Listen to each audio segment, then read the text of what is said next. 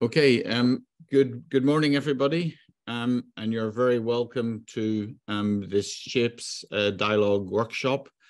Um, Shapes is smart and healthy aging through people engaging in supportive uh, systems. And uh, today we're being hosted by the Assisting Living and Learning Institute at Maynooth University, which is the university uh, which has the pleasure of leading the overall uh, SHAPES consortium.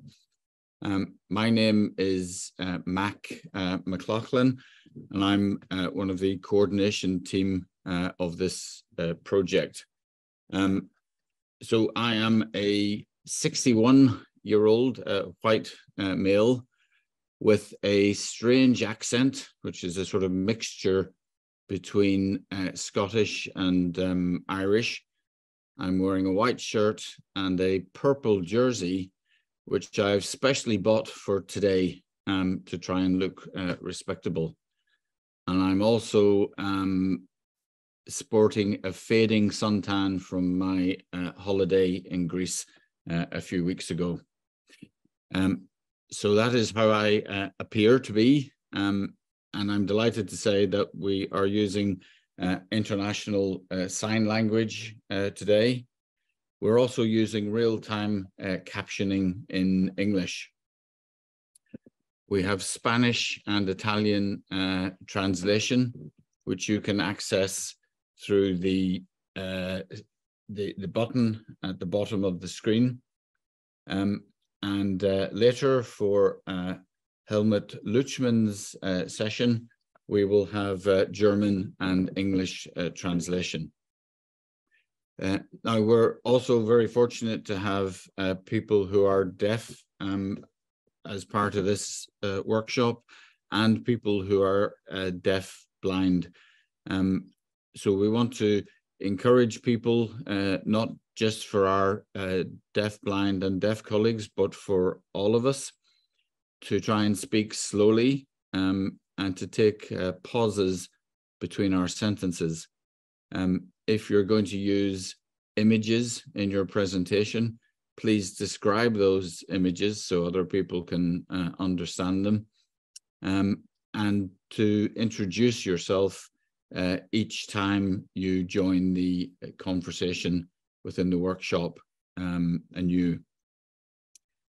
So um, we talking of introducing yourself, we also have a, a chat function and that we very much want you to engage with that uh, chat function and to share your um, ideas. And uh, as part of that approach to communication, we will also be using uh, Slido. Um, if you're not familiar with Slido, it's a, a means of instantly um, getting uh, feedback from the audience and participants um, and allowing them to share their ideas uh, anonymously. So um, my colleague uh, Stacey Campbell, who's the overall manager of the Shapes project, um, will be facilitating Slido and will explain a bit more about it. Um, when we come to, to, to the uh, interaction uh, elements of this this morning, um, but the key thing is it's anonymous um, and and you can say uh, whatever you like uh, really. So uh, we look forward to that. We also have uh, tom and ilya from maynooth um, who are also going to be uh, taking notes. And uh, that will help us produce a report from this.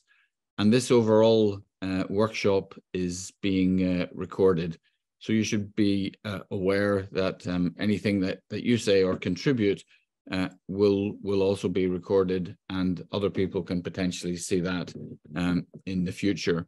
We hope that will actually encourage you to contribute so that your voice uh, is heard. So if we can go on to the next um, slide, please. Um, so we have an interesting slide here on the uh, left-hand side um, we uh, restate the, the, the, title, The Future of Smart and Healthy Aging, shapes uh, results, recommendations, and reflections for an inclusive Europe and a participative civil society. so for us, this is a, a really uh, exciting part of our project. It's coming to the end. We have results, recommendations, uh, and reflection. And our uh, motivation was always to make a, a, contribution to Europe being more inclusive and to embrace um, civil society participation in that. Um, we have an image of uh, three very athletic looking uh, soccer players who are all doing their own different type of thing. And then we have uh, an image just in front of them of three older people who are all actually doing a thing together. Um, so it's a it's a lovely image of uh, older people uh, moving towards us and embracing uh, each other. So it's it's a nice contrast, if you like, between younger people doing their own thing and the older people all doing the thing to, together. Um, and I think that is a, a nice sort of metaphor.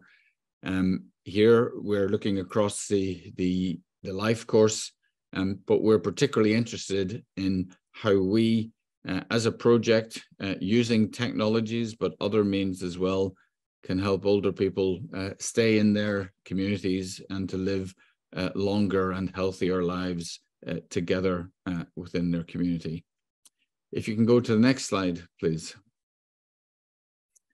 So uh, we have a, a terrific um, lineup um, for you today. I'll shortly be going over to my uh, Maynooth uh, colleagues, uh, Katja uh, and Jamie, and they're going to talk about um, our starting point within um, this project. So although the project has a lot to do with technology, we didn't start with technology. We started with what did people want?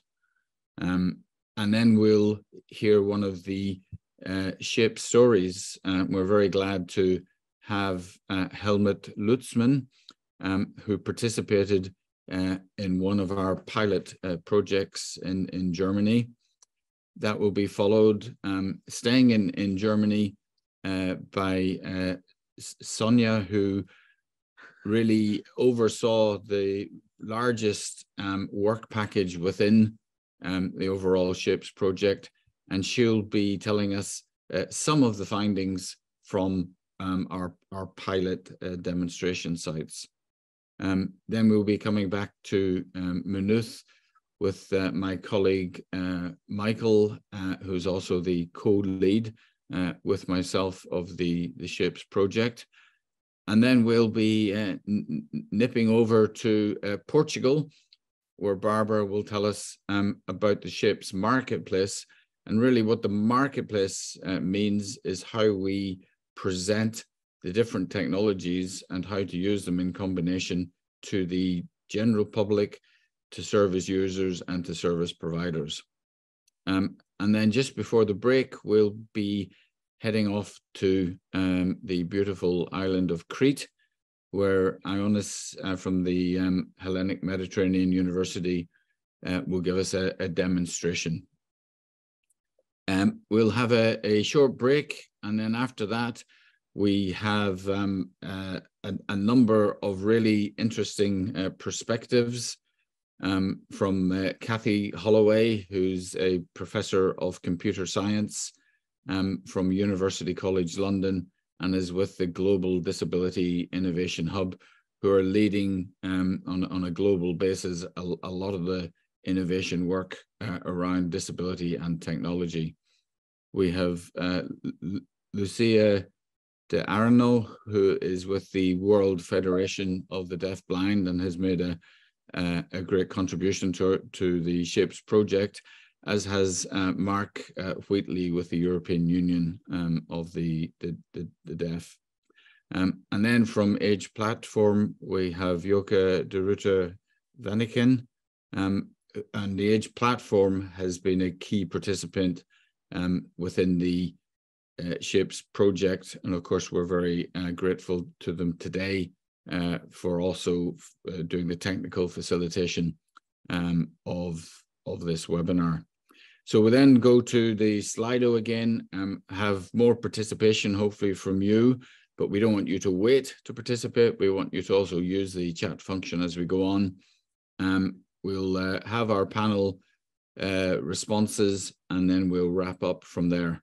so um, I think without any further um, delay, um, we'll go to Katja uh, Siddell and Jamie Saris um, from Maynooth. Um, good, morning and over to Yi, Katja and Jamie.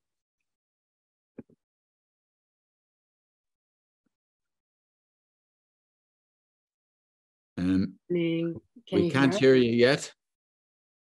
You can't hear us yet? Ah, we can hear you now. Yeah. Okay. perfect. Okay. Okay, thank you. Can you also see us? Does it Yeah, we can see you and hear you, and you're looking good. Wonderful, wonderful. Thank you, Mark, for the introduction um, and for kindly giving us this chance to start off um, the content of what we've done, so to say, in shapes, as you said, as some of the kind of foundational work, hopefully distributed throughout all the work packages and having had a wonderful influence um, throughout the project. Um, yeah, we have been in charge of work package 2.1, uh, working with older people directly and um, doing ethnographic research with them, learning about their lives and their life worlds. And I have Jamie start um, by giving you a little bit of an overview. And then it's my great pleasure afterwards to introduce Helmut Lutzmann to you, who specifically came today to share his experience that he had with us um, during the project and also his own work in the senior academy in Dresden. Thanks, Katja. Um, can everybody hear me okay? I'll take in silence, there is consent. Okay. That's Um, yes. That's yes. Um, as Mac um, already suggested, Shapes is relatively unique in the way it set about integrating uh, sort of rich descriptions of the lives of older people into the foundation of the Shapes ecosystem. Such descriptions go beyond um, what we generally conceive of as use cases and piloting um, that are usually associated with the rollout of technological solutions to, to any particular human problem. Um, the operating ethos of shapes, that is, look, understand, and then act, for the development and implementation of the platform, wanted to avoid a problem that is unfortunately too easy to find in the development of technological fixes to social and human problems. Um, that is the tendency to proliferate solutions to problems that are themselves only poorly understood. A key part then of both the look and understand moments of this process in shapes was ethnographic research, which was led in, in Maynooth um, by myself and Katja here, and our colleague David Prendergast, who was not able to attend this session. Um, and this was this research was um, necessarily forced to change because it uh, was designed to roll out in March 2020. And while this is not that long ago, it does seem like a kind of age ago in another sense because there was a global pandemic in between then and now. Um, this transformed our methodology and radically expanded the number of uh, individuals with whom we had contact um, because it forced us to go online and it also forced us to recruit um, individuals who were part of the, the shapes ecology uh, working in other capacities to talk to people, uh, older people in the settings in which um, um, they were actually working. In effect, these uh, uh, the so we just about doubled the original number of folks that we were talking to, and the actual ethnography lasted a bit longer um, online um, of various levels of, of uh, interaction. Um, but the end result of these interactions are what um, anthropologists call uh, thick descriptions. And I'm going to give a little bit of background on that. Um, for the shapes ecosystem as a whole, though, um, work package 2.1 um, got a section of the Maynooth website called hashtag shape stories. And if people haven't had a chance to look at that, it is a summary of several of the interactions that we've had over the course of the last three and a half years or so, three and a three quarters years or so. Um, that uh, are organized around some of the central themes that we investigated uh, within the, the, the, program. And that was designed in, um, uh, with an eye to injecting the data that we were gathering uh, directly into the Shapes ecosystem that didn't need to be mediated by a report or a document that you know everybody probably wouldn't necessarily read. Anthropologists call the accounts that they develop from these long-term engagements with the life worlds of others thick description. Thick description embraces, embraces complexity not merely for its own sake, but because human lives are in fact complex, while interventions tend not to be.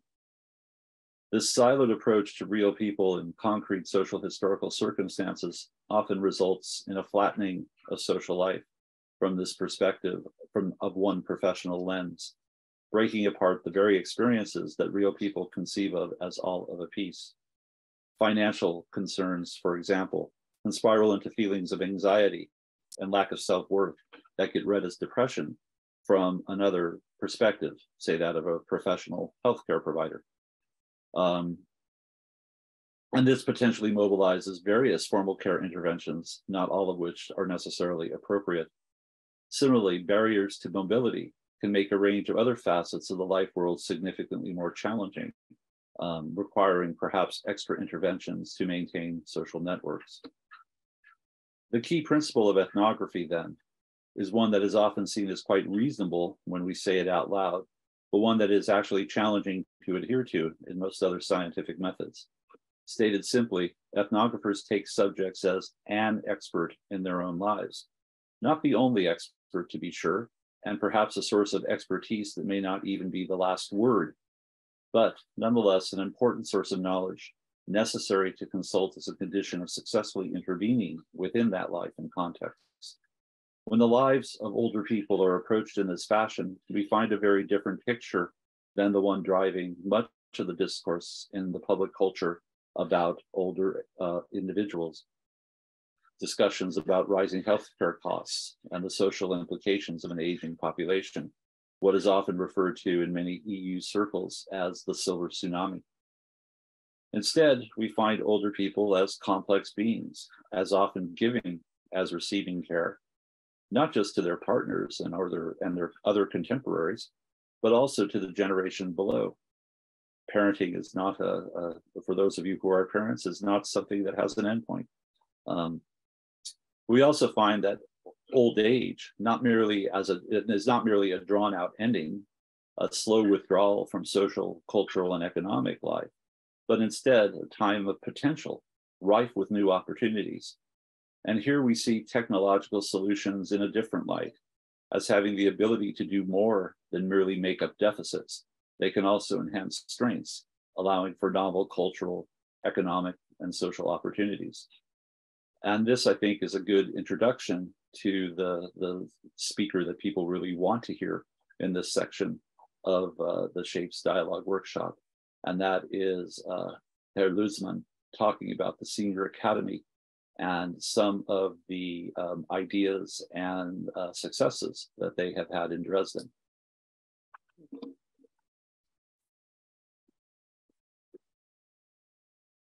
Um, yeah, thank you, Jamie. Um, just uh, maybe a few words before we hand over directly to Helmut Lutzmann. um, because I was the one who was fortunate enough to actually be spending my time uh, with Mr. Lutzmann. Um, he was one of the 10 participants in our research sample in the people we, re, we interacted with in Dresden or the surrounding areas.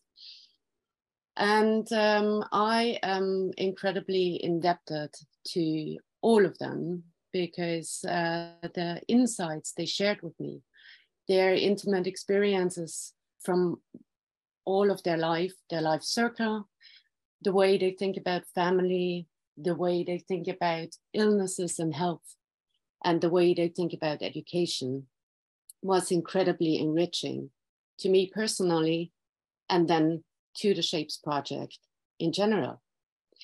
Because from all the stories that we gathered, not only in Dresden, but in 10 different pilot sites um, in throughout Europe and also from people uh, living with deaf blindness and deaf communities, we ended up with 104 individuals who actually shared their, um, their life stories and their insights with us.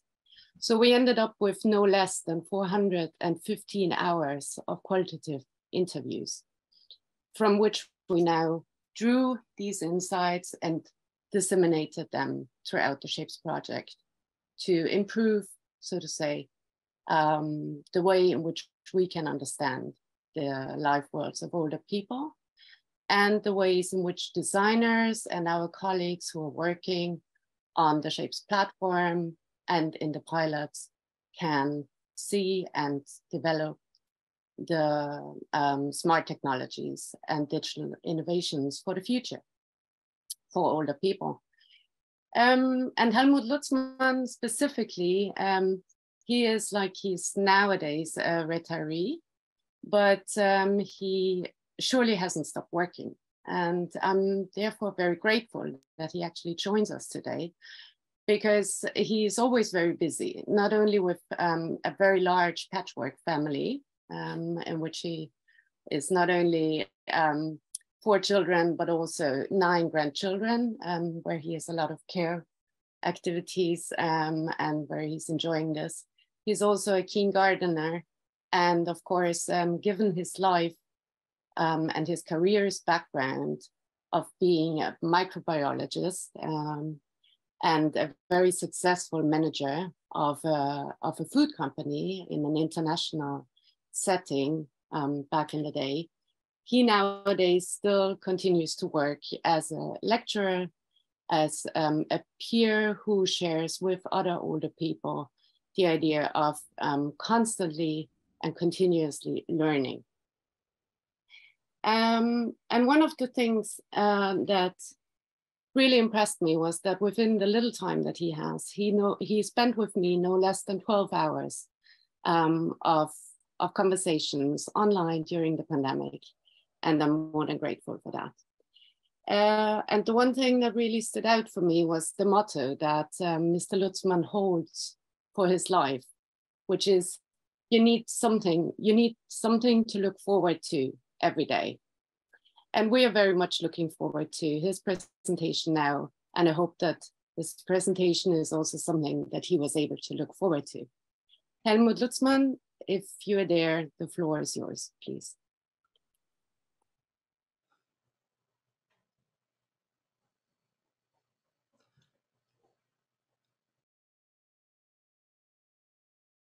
Yeah, thank you so much uh, for this great introduction.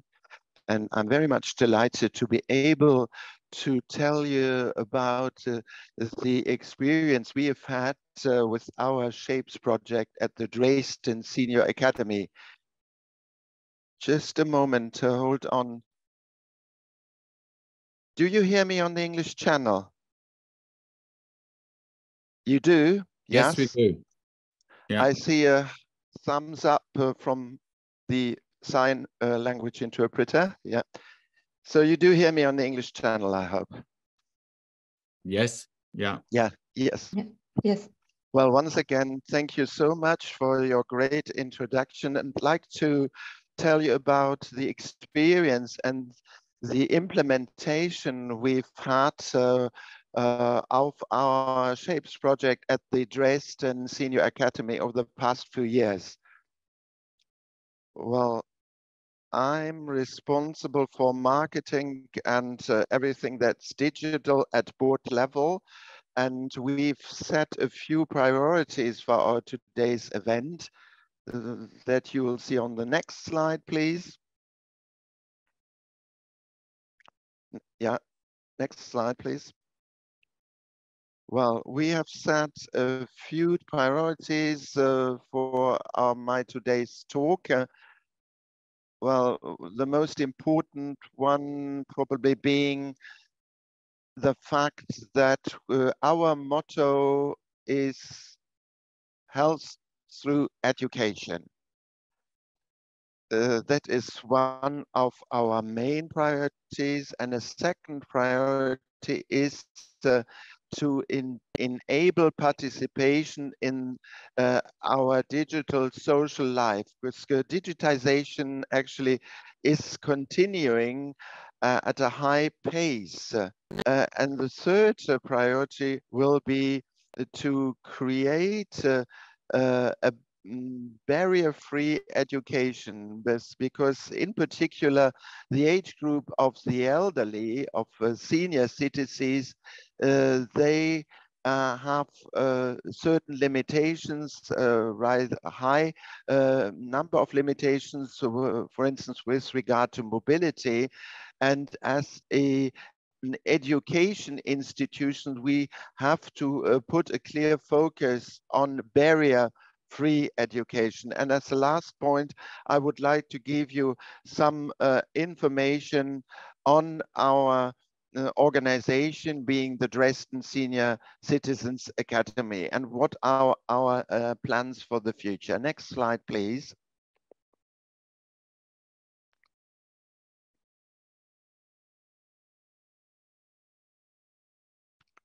Well, on the first priority, education or health or health through education, I think I'm not telling you a secret uh, when I'm saying that uh, education makes your brain fit. Uh, when you uh, deal with things, uh, uh, look at things, it makes your brain work. And that is very good for your health, so for your mental health. And and we can uh, rightly expect good results when senior citizens deal with these uh, topics. And there are numerous studies uh, that have demonstrated uh, the positive effect when you deal with certain topics, uh, for instance, education, that your brain becomes active again. And there are very interesting examples for this in our next semester, we will have a lecture that will actually deal with uh, how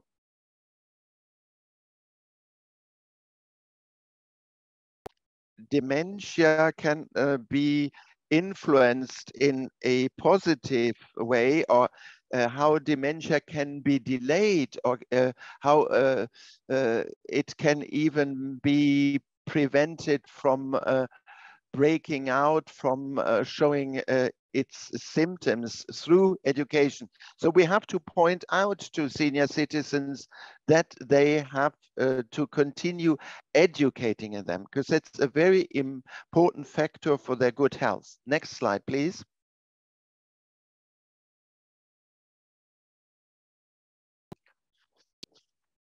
So education uh, versus medicine or instead of medication. So, uh, well, education, of course, uh, requires financial means. Uh, uh so not everybody uh, has uh, the means necessary, for instance, to buy a mobile phone, a smartphone. People sometimes do not have the money for that.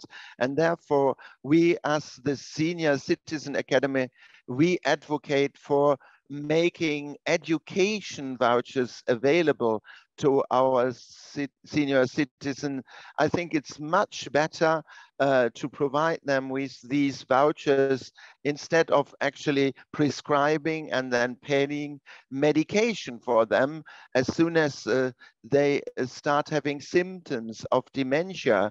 So it is all about lifelong learning, where we try to find topics that are also of interest for seniors. So there is a project of the Senior of Dresden on life learning for senior citizens, where the seniors uh, uh, are involved in a a great array of different education opportunities. Of course, they have to be interesting for seniors. They have to take interest in them. And then uh, the participation in uh, digital life, I think this is a prerequisite for these seniors uh, to take part in this uh, digital life and not to be excluded uh, from it. And we have to ensure that the seniors uh, have the competences and the capabilities uh, to uh, deal with these digital devices. Uh, so we have to enable them by training courses uh, and show to them, explain to them how to use a smartphone, for instance. So that is one of the offers we are making now. And there are a lot of different uh, opportunities and possibilities that we uh, unfortunately can only uh, use uh, via the internet or, well, sometimes this is even an advantage to be able to uh, use them uh, on the internet. And their exclusion or their loneliness uh, uh can uh, thus be reduced or even be prevented by uh, heavily focusing on education and by giving the senior citizens the opportunity to have easy access to uh, this education offer. Next slide, please.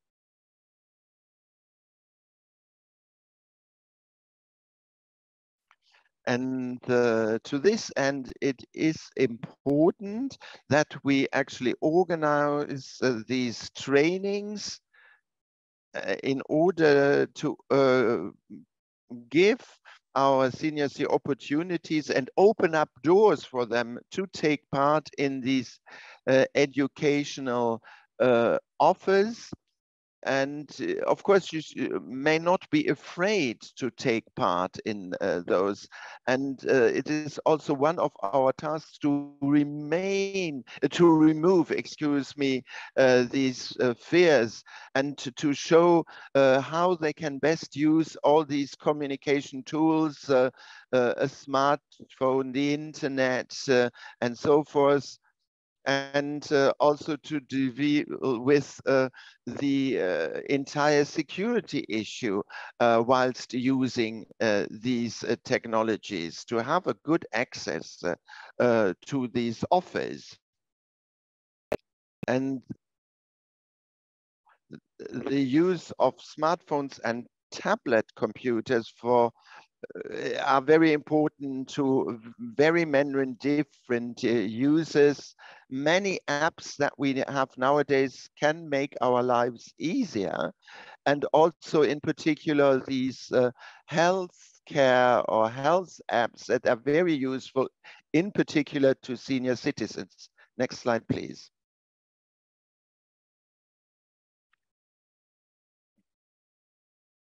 Then the barrier-free education. Oh, just to give you one bit of information, well, senior citizens are uh, not a very homogeneous group. They are quite heterogeneous, and therefore uh, making use of education may uh, largely vary due to their experience with education. And we tried actually to uh, um, involve them uh, uh, where they currently stand uh, uh, with their experience with education in over not to overburden them with too much education and uh, but not uh, to bore them either.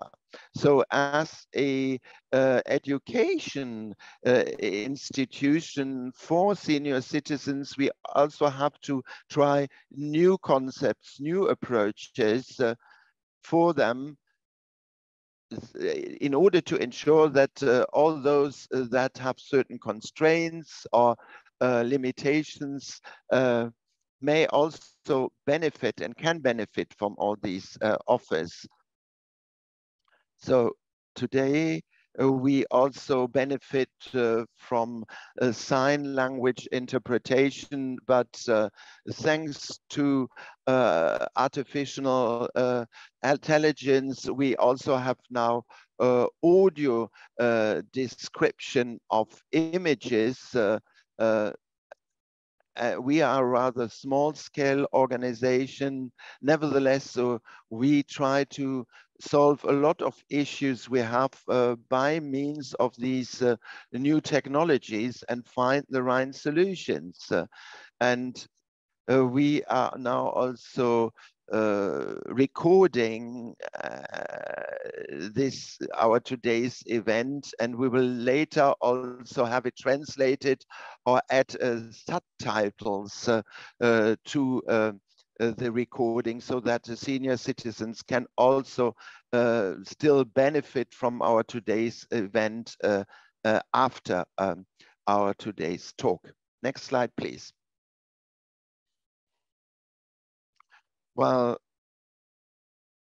I have actually told you about the three main priorities we are currently uh, focusing on.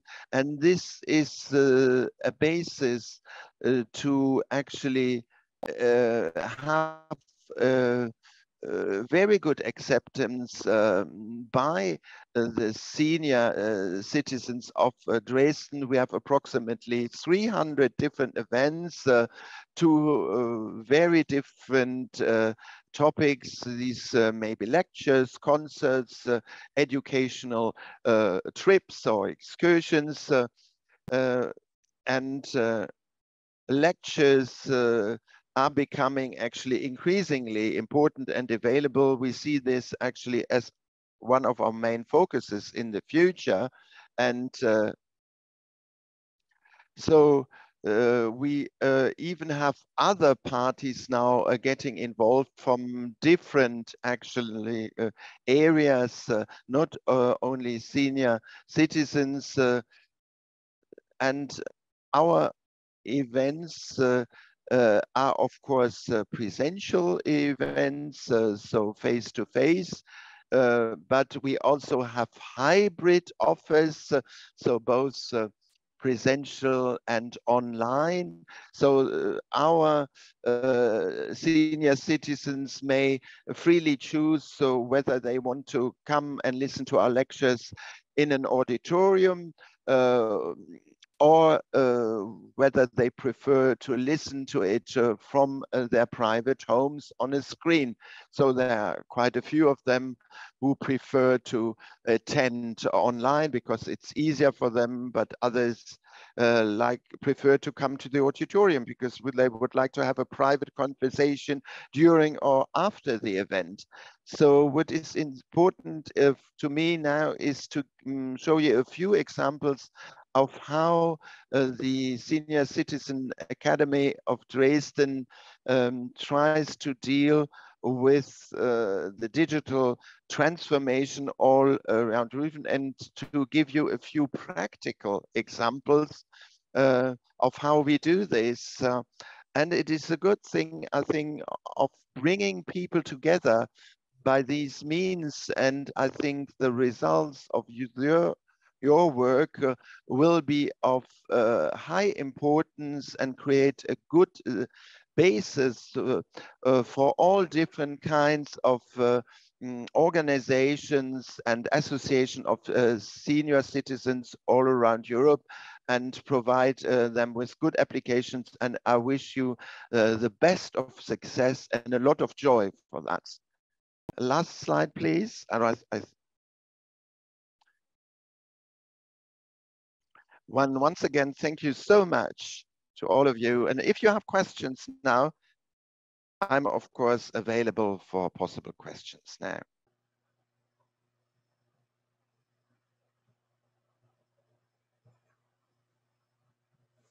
Ja, vielen herzlichen Dank, Herr Lutzmann, für diesen Vortrag. Ähm, vielleicht könnten Sie noch kurz bei uns bleiben, äh, im Fall, dass es Fragen gibt. Ähm, ja, okay. Um, Mac or Vera, how are we handling the questions? Sure, thank, thank you. Uh, das war sehr gut. Uh, Dankeschön, uh, Mr. Lutzmann. Uh, and the translation was uh, excellent. So, so thank you, translators.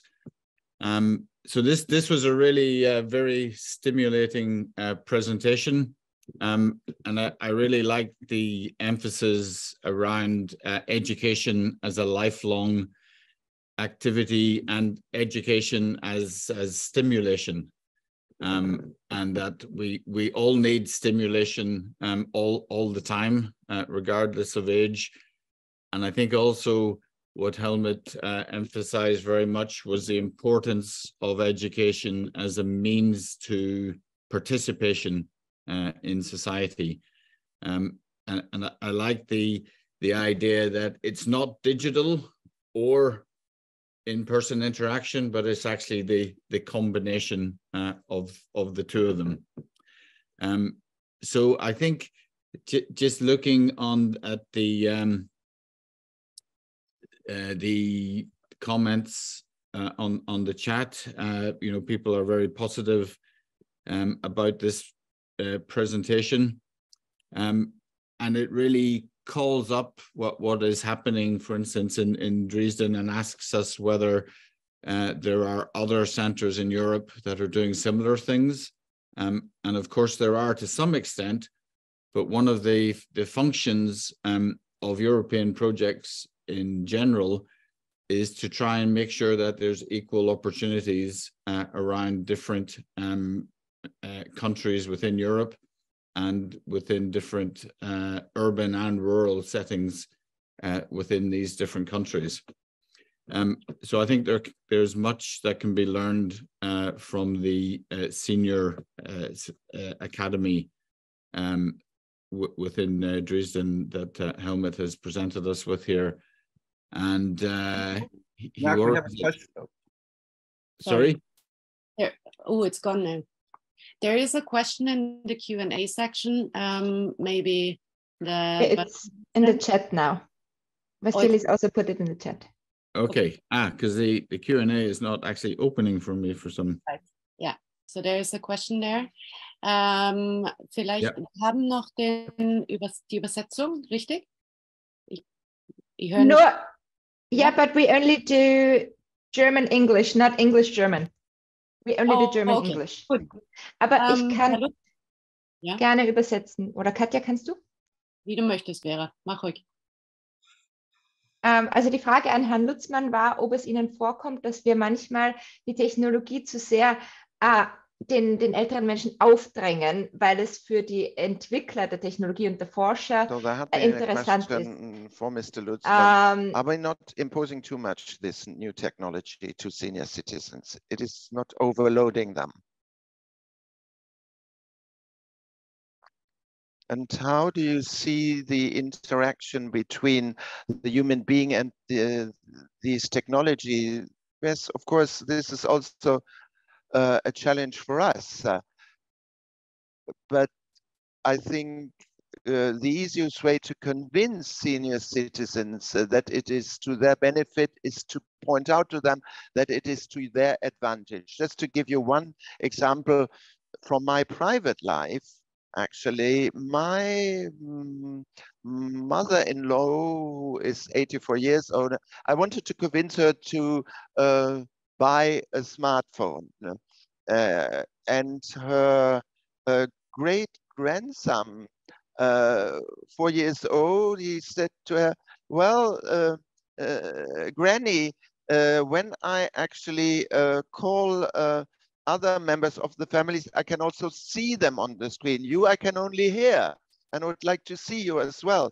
I think this is just one easy example mm, to um, actually convince uh, our senior citizens or make them even more enthusiastic about these technologies, there's always this first hurdle that we need to overcome. Um, uh, when it comes to convincing them that they really want it. Uh, and you have to point out that uh, there is an added value for them personally in their private lives.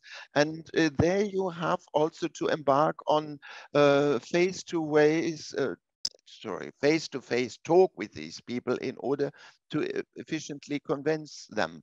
There's another uh, question where we do not have all that much time left. Well, uh, now uh, we are receiving more and more questions. One question would be uh, do you also make these technologies available at the Senior Citizen Academy?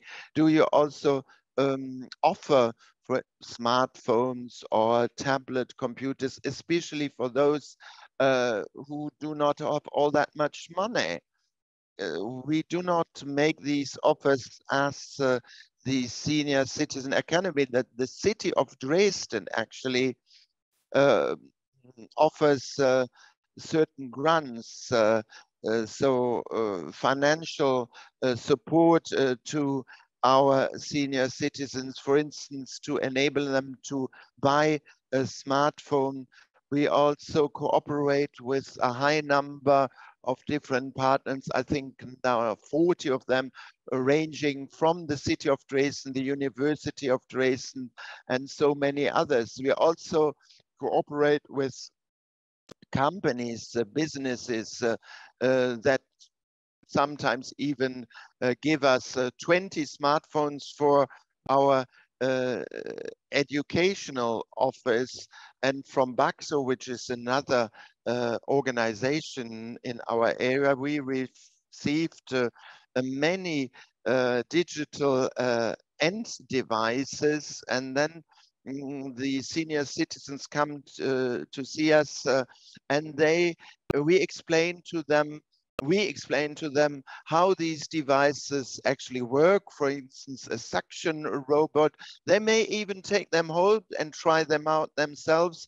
Then there is this digital actually uh, uh, walking stick for the blind and we have a cooperation uh, with um, Institute uh, for Technology, uh, where they may test these devices themselves because sometimes they are a bit hesitant uh, to accept these devices. But if uh, you offer them, hey, you may test them for free for, let's say, a fortnight, uh, very often we are able to convince them that these devices are very useful for them and they decide to keep them. So it's all about to, this hurdle and um, try to have the hurdle as low as possible. And if you these offers are uh, uh, free of charge, uh, the hurdle is of course a lot lower than mm, uh, where in a situation where people would have immediately pay for them. And that uh, takes us even mm, to other questions. Uh, how uh, you try uh, to convince the citizens uh, by this uh, hands-on uh, approach. I would like to take yet another question, but do we still have time for another question? Or do we have to draw this yeah. session to a close?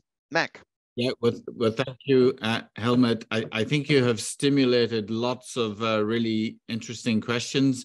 And what I would ask people to do is to stay with us because we will have opportunity for, for uh, these questions again uh, at the end. But I would like to try and keep us um, on time. Um, and that would mean that we would have a 10 minute break uh, now, which would take us up to uh, 11 o'clock uh, German time um, and uh, 10 o'clock uh, Irish time. And uh, everyone else can coordinate their, their two times uh, in relation to these because um, at 11 o'clock German time, we will stay in Germany. Um, we will come back to Sonja, um, who will describe some of the outcomes from our pilots. And I think Helmut in talking about, uh, for instance, digital walking sticks, etc., has given us a lovely uh, teaser for um, some of the results of our uh, excellent uh, uh, technology that has been uh, piloted. Um, but really, thank you so much, Helmut.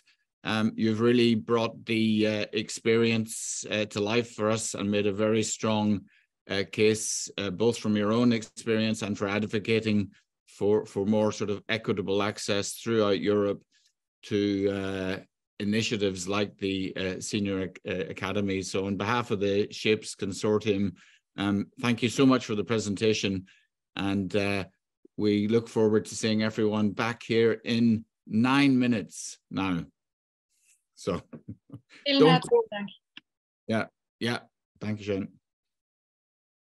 Uh, welcome back, everybody. Um, uh, again, just looking at some of the comments uh, in the chat there, um, Sabine is asking, do you agree that digitization will increase more and more in old age because uh, future older generations will grow up with it? And I think that's certainly the case.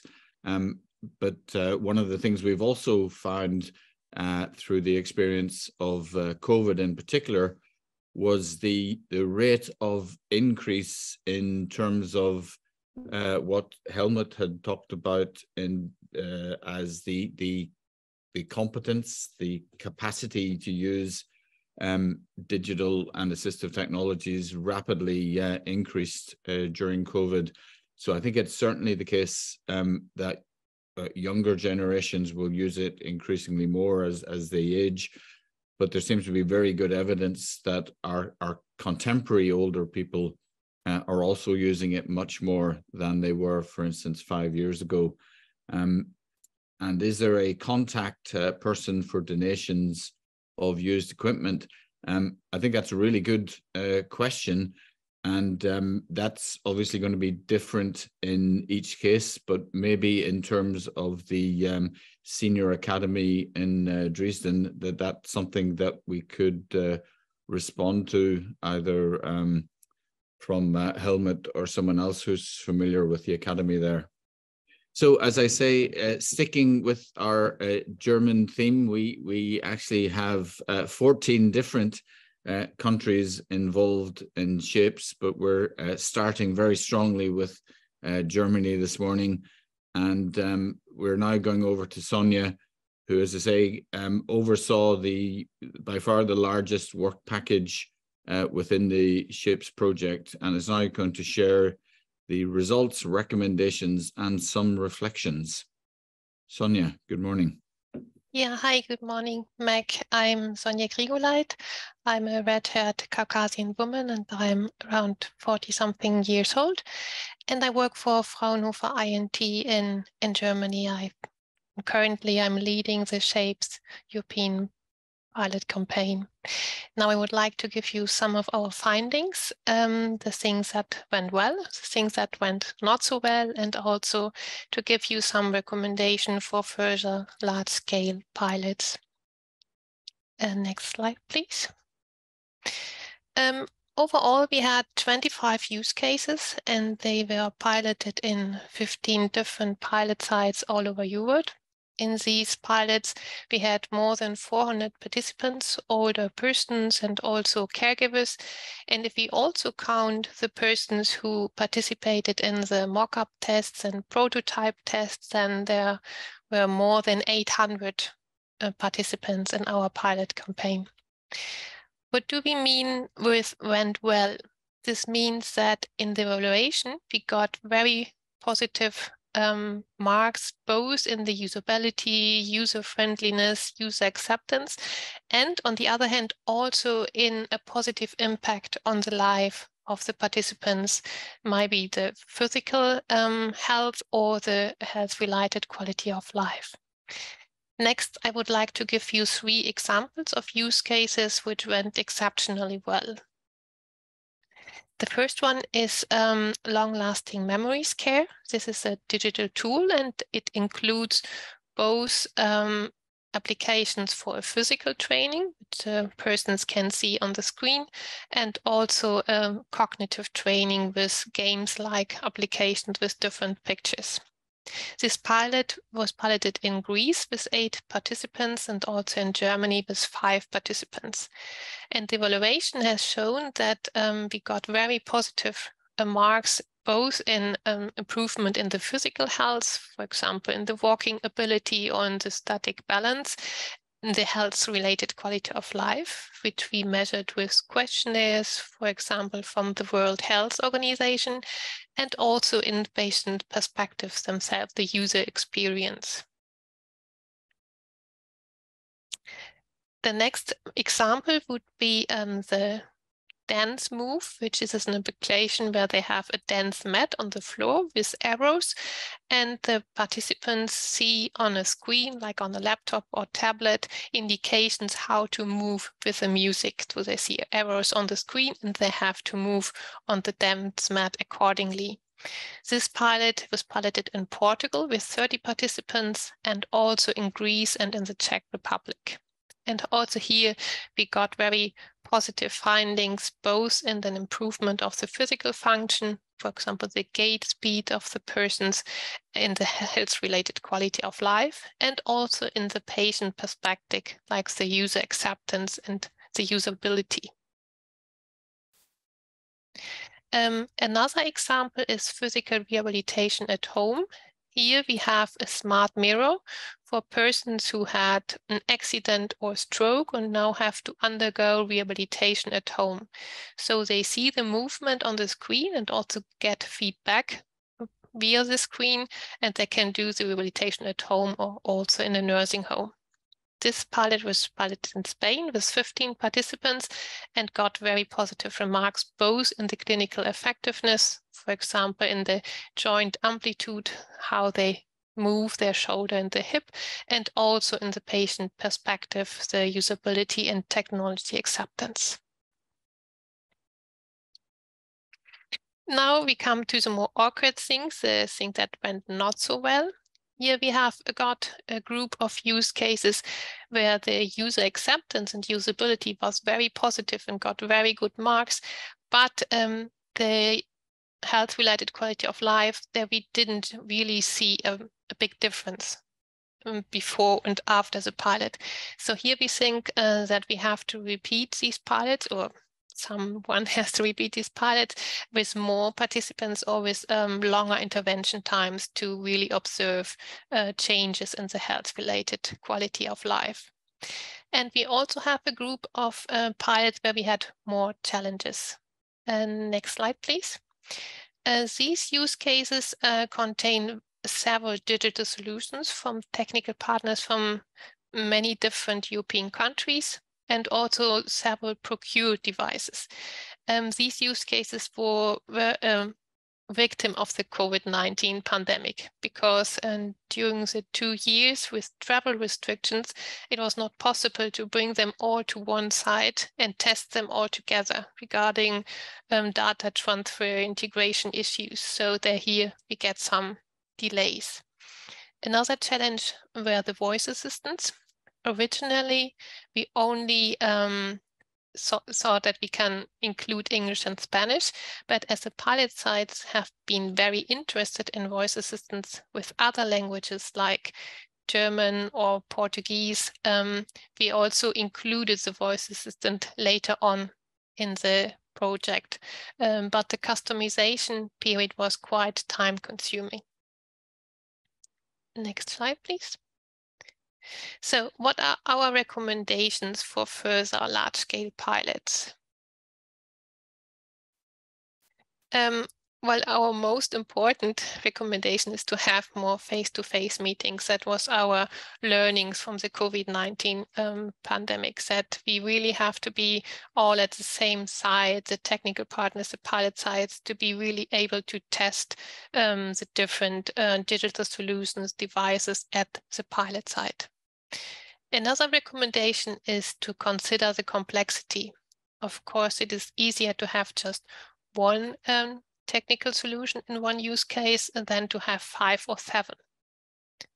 Um, it is also important to have sufficient budget uh, in your project because if you want to recruit persons and this person perhaps does not have router or doesn't have a tablet or does not have a good stable Wi-Fi connection, then we can procure these devices and this way are able to recruit this person.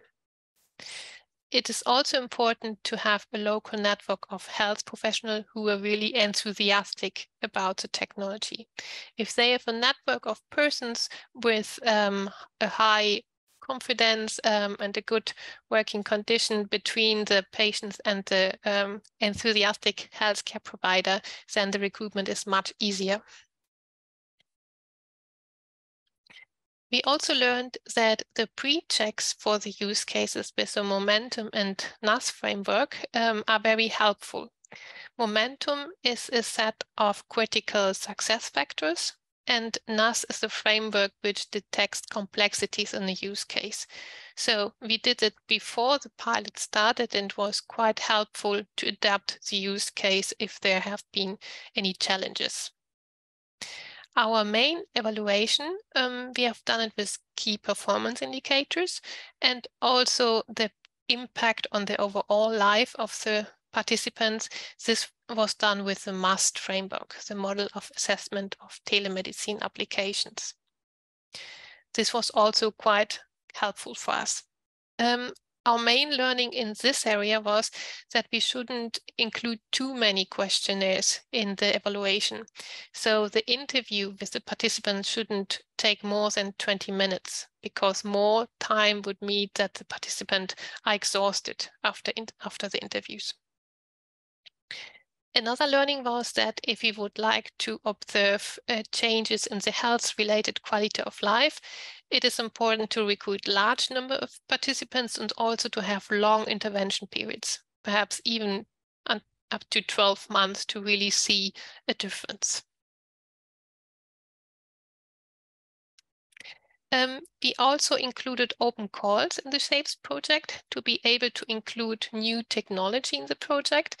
Um, and it is important to do it as early in the project as possible so that these open call solutions also have time for integration and testing as much as the um, technical solution of the SHAPES partners themselves.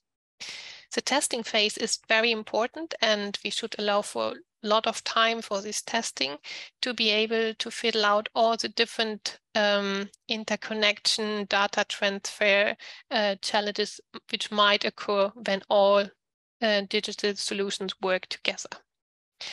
And the final recommendation is that we should aim for a balance between data protection and user friendliness. Of course, it is very safe to have a password with 20 digits, but it's not very user friendly. So we have to find a balance for so that it's still usable for the participants, but still safe for them to use it.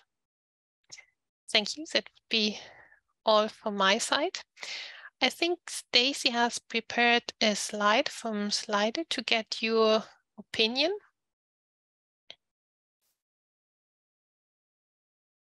Yeah, just bear with me one moment, please. Thank, thank you, Sonja. And um, one of the things that uh, I guess it struck me is where you described earlier on that sometimes people have um, positive experiences of using technology, but it doesn't necessarily result in an improvement in the quality of life um, that that they have. Um, so you know that that's one sort of if you like um paradox. Um and then the another paradox which i also think is very nice is where you emphasize that in order for us to use digital technology effectively we need to actually come together um, as as a group uh, within the research project. Because i think very often people feel that there's a danger of digital technology making us move apart from each other. Um, whereas one of our learnings here is we need a lot more physical meetings where people are together to really understand how best, from a research perspective, to um, uh, promote the use of digital uh, technologies, etc. So thank you um, for, for those uh, strengths, challenges, and recommendations. And please uh, make comments in, in the chat. Um, Stacey, um, shall I uh, hand over to you to explain what you're doing? Perfect. So looks very impressive. I am Stacey Campbell, who is the project manager of the Shapes uh, project in Maynooth University. Um, as I see from the engagement, you've already started interacting with our Slido. Um, so I am a white woman with blonde hair and I'm wearing a black top. Um, for everyone that's interacting, if you would like to participate with our um, Slido presentation, you just either log on to your um, internet browser, type in slido.com, and then you can add in the number 1711007. Or if you have a QR scanner on your device, you can scan the QR code that I've shared on the screen. So we are asking a multiple choice question. What do you think are the main challenges of large scale pilots in the area of healthy aging? So we have it's it's switching continuously. We have integration issues between several digital solutions and devices. We have engagement of participants, which seems to be taking the lead, lack of time, administrative problems, maturity of technical solution, and communication between project partners and management issues. Um, as we've said, thank you very much, Vera, for popping it into the chat. If you would like to participate via our chat function, that is no problem. We'll just do this very momentarily, um, following on from Sonja's presentation so as not to slow down the general um, running of today's event. Okay. So you can keep adding to that as the um, event goes on and we can check in at the end if you'd like.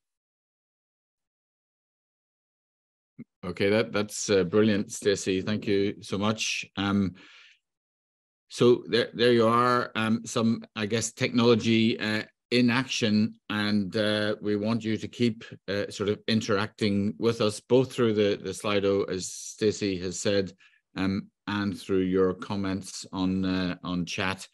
Um, and we'd be particularly uh, keen to hear uh, just some of your thoughts around uh, both the, the sort of strengths that Sonja's described, some of the challenges, and indeed some of our recommendations. Um, so there is Sonja saying thank you and showing a, a picture of of some of the 300 plus people who've been employed uh, in the Shapes uh, project over the last uh, four years, as I said, working across uh, 14 different uh, countries. So that uh, picture was taken in Thessaloniki in the, the north of Greece. And we're all looking very relaxed there.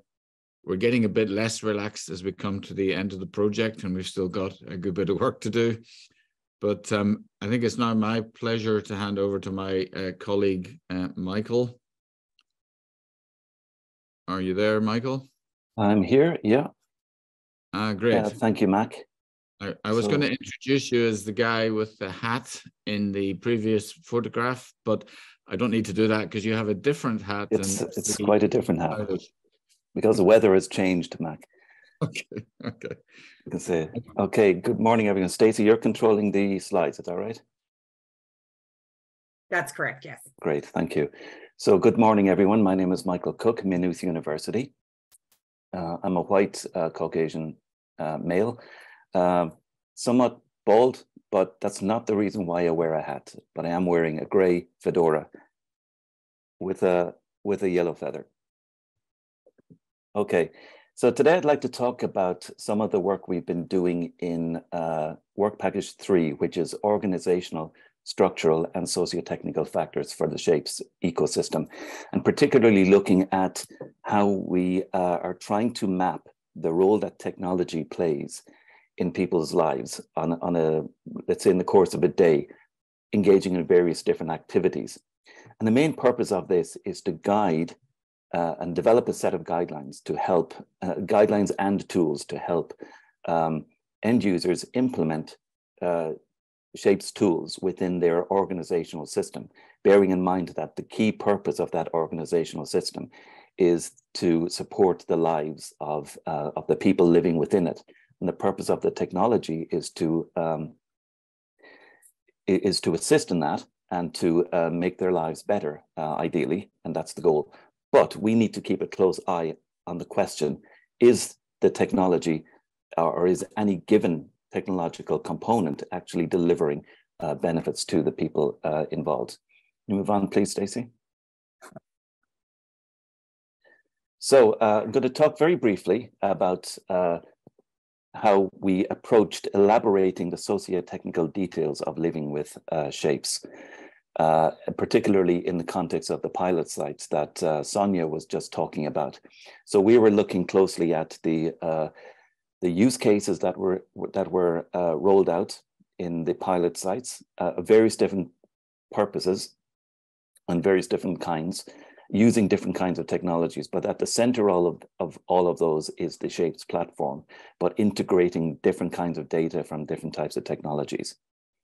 So with a focus on the social and organizational aspects. So other parts of the project focused on the technological, the development of the technological capabilities and integrating those together. Our focus in this uh, work was to focus, was to uh, elaborate on the, um, the social and organizational aspects. And what I mean by socio-technical is simply how um, in an organizational context, you know, people working and living together, their lives are mediated or facilitated by technology. Uh, we can think about that in, in most kinds of organizations like a hospital. It's a socio-technical environment where you have people working together, but they're highly dependent on technology. But nowadays, we could even say that our homes and our communities are socio-technical uh, um, environments because so much of our lives deep, uh, are reliant on things like smartphones and um, uh, tablets and, and uh, you know smart tablets, computers, and so on, the internet. So we, we do live constantly in a, in a digital world, digital ecosystem, which can be considered a socio-technical environment. And one of the things, one of the other things that we're looking to do is support the implementation, like I said, but also evaluate the utility and suitability of technologies for people's activities.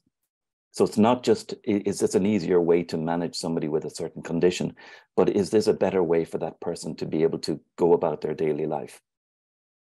Uh, we've taken a human activity-centered approach using uh, CONOPS, and I'll talk about that briefly. Con CONOPS stands for Concept of Operations.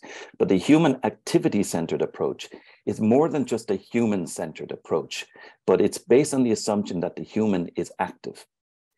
Uh, so we're talking about active and healthy aging.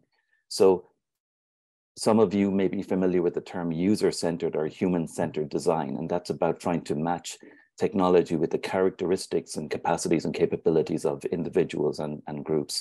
But the human activity centered approach is also looking at that in a much more dynamic way. So looking at the individual as engaged in various activities, social activities, physical activities, cognitive mental activities, uh, and, and so on.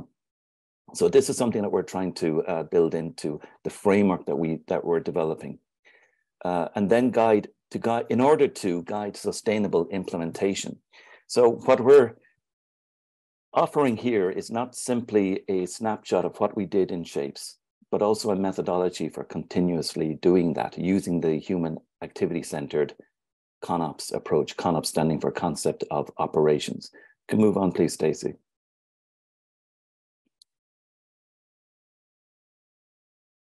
So you, you can just click through all of those.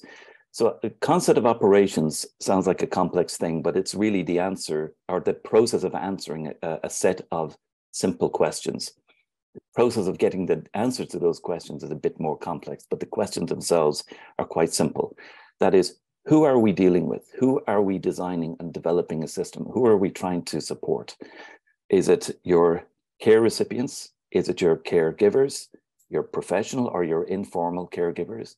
Is it policymakers? Is it uh, uh, uh, medical professionals, including those on, on the managerial side, in, in terms of managing um, care facilities, hospitals, and so on? Uh, is it researchers? Or is it all of the above who are in one way or another involved in shapes? If you can go back, please, Stacey. Yeah, thank you. The next question is why? What is the motivation? In other words, what are we trying to achieve ultimately by the system, by shapes in this case? What outcomes are we, do we want to deliver? What KPIs do we want to improve on? In what ways do we want to improve people's lives? The what is, what are the key elements that we are introducing here? Uh, we have the platform, but what digital solutions? Uh, either the, whether it's the ones that we bring in through the project or the ones that can be available through the marketplace. The when is what is the time sequence of activities that will be performed. So a concept of operations is uh, a visualization of what operational life or what daily life, if you like to put it that way, it will be like in the future for people engaged in the system, engaged in that organizational system involving shapes. Sorry, if you can go back, please, uh, Stacey. Uh, the where is the geographical distribution. So not everybody is in a in a single location. Some very often, in fact, for almost everybody, we've got family, friends, um, professionals, caregivers, and so on that are distributed geographically. And then what resources do we need to design and build the system? So we need more than just technologies. We need inf information and data. We need money and finance. We need uh, human resources. We need a whole variety of different resources that are involved in uh, addressing the how of how we implement this. Now you can move on. Uh, thanks, Stacey. So um, when we're uh, talking about a person, an individual within such a system, we look at the individual as not just uh, an isolated individual with certain needs and certain characteristics and certain diagnostic uh, criteria and so on. But that person exists in a much more complex uh, social environment. So every subject, every person, individual, whether it's a citizen, care recipient, uh, caregiver, relatives, GPs, hospital, hospital managers, care homes, health administrators, and so on. They're not just, you know, uh, existing uh, uh, passively, but they're, like I said before, engaged in, in activities. In each, of in each of those activities, they're trying to do something, trying to achieve a goal, whether it's to socialize, whether it's to uh, have a good diet, whether it's to exercise, whether it's to uh, monitor their, their medication and make sure that they take their medication. Or it could be that you're trying to ensure that the other person is doing all of these things to an appropriate uh, extent. So we got everybody trying to achieve an object or an objective, if you like, with an intended or desired outcome. And the key thing at the top of this uh, triangle or pyramid is the tools that we use to do that. And in this case, we're, we're talking about the shapes tools, whether it's the shapes platform, the robotics, the, the biophotonic dashboard, reminiscence uh, uh, related tools, or the um, uh, whatever uh, systems that we're uh, integrating through the marketplace. These are intended to help the person, the individual, achieve their outcome and uh, their object and their outcome. Uh, uh, yeah, thanks, Stacey. And then this all happens within a broader community. So everybody's interacting with other people. There's a division of labor. So every individual care recipient is interacting with caregivers who have their own set of goals and outcomes as well. And then you have the, the rules, the ethics, privacy, legal, procedural, uh, cultural rules as well that uh, that govern, if you like, this uh, this framework. So this is what this is what the the basis on which we're building the concept of operations. That's that future vision of shapes in op, in use in operational context. You move on, please, Stacey.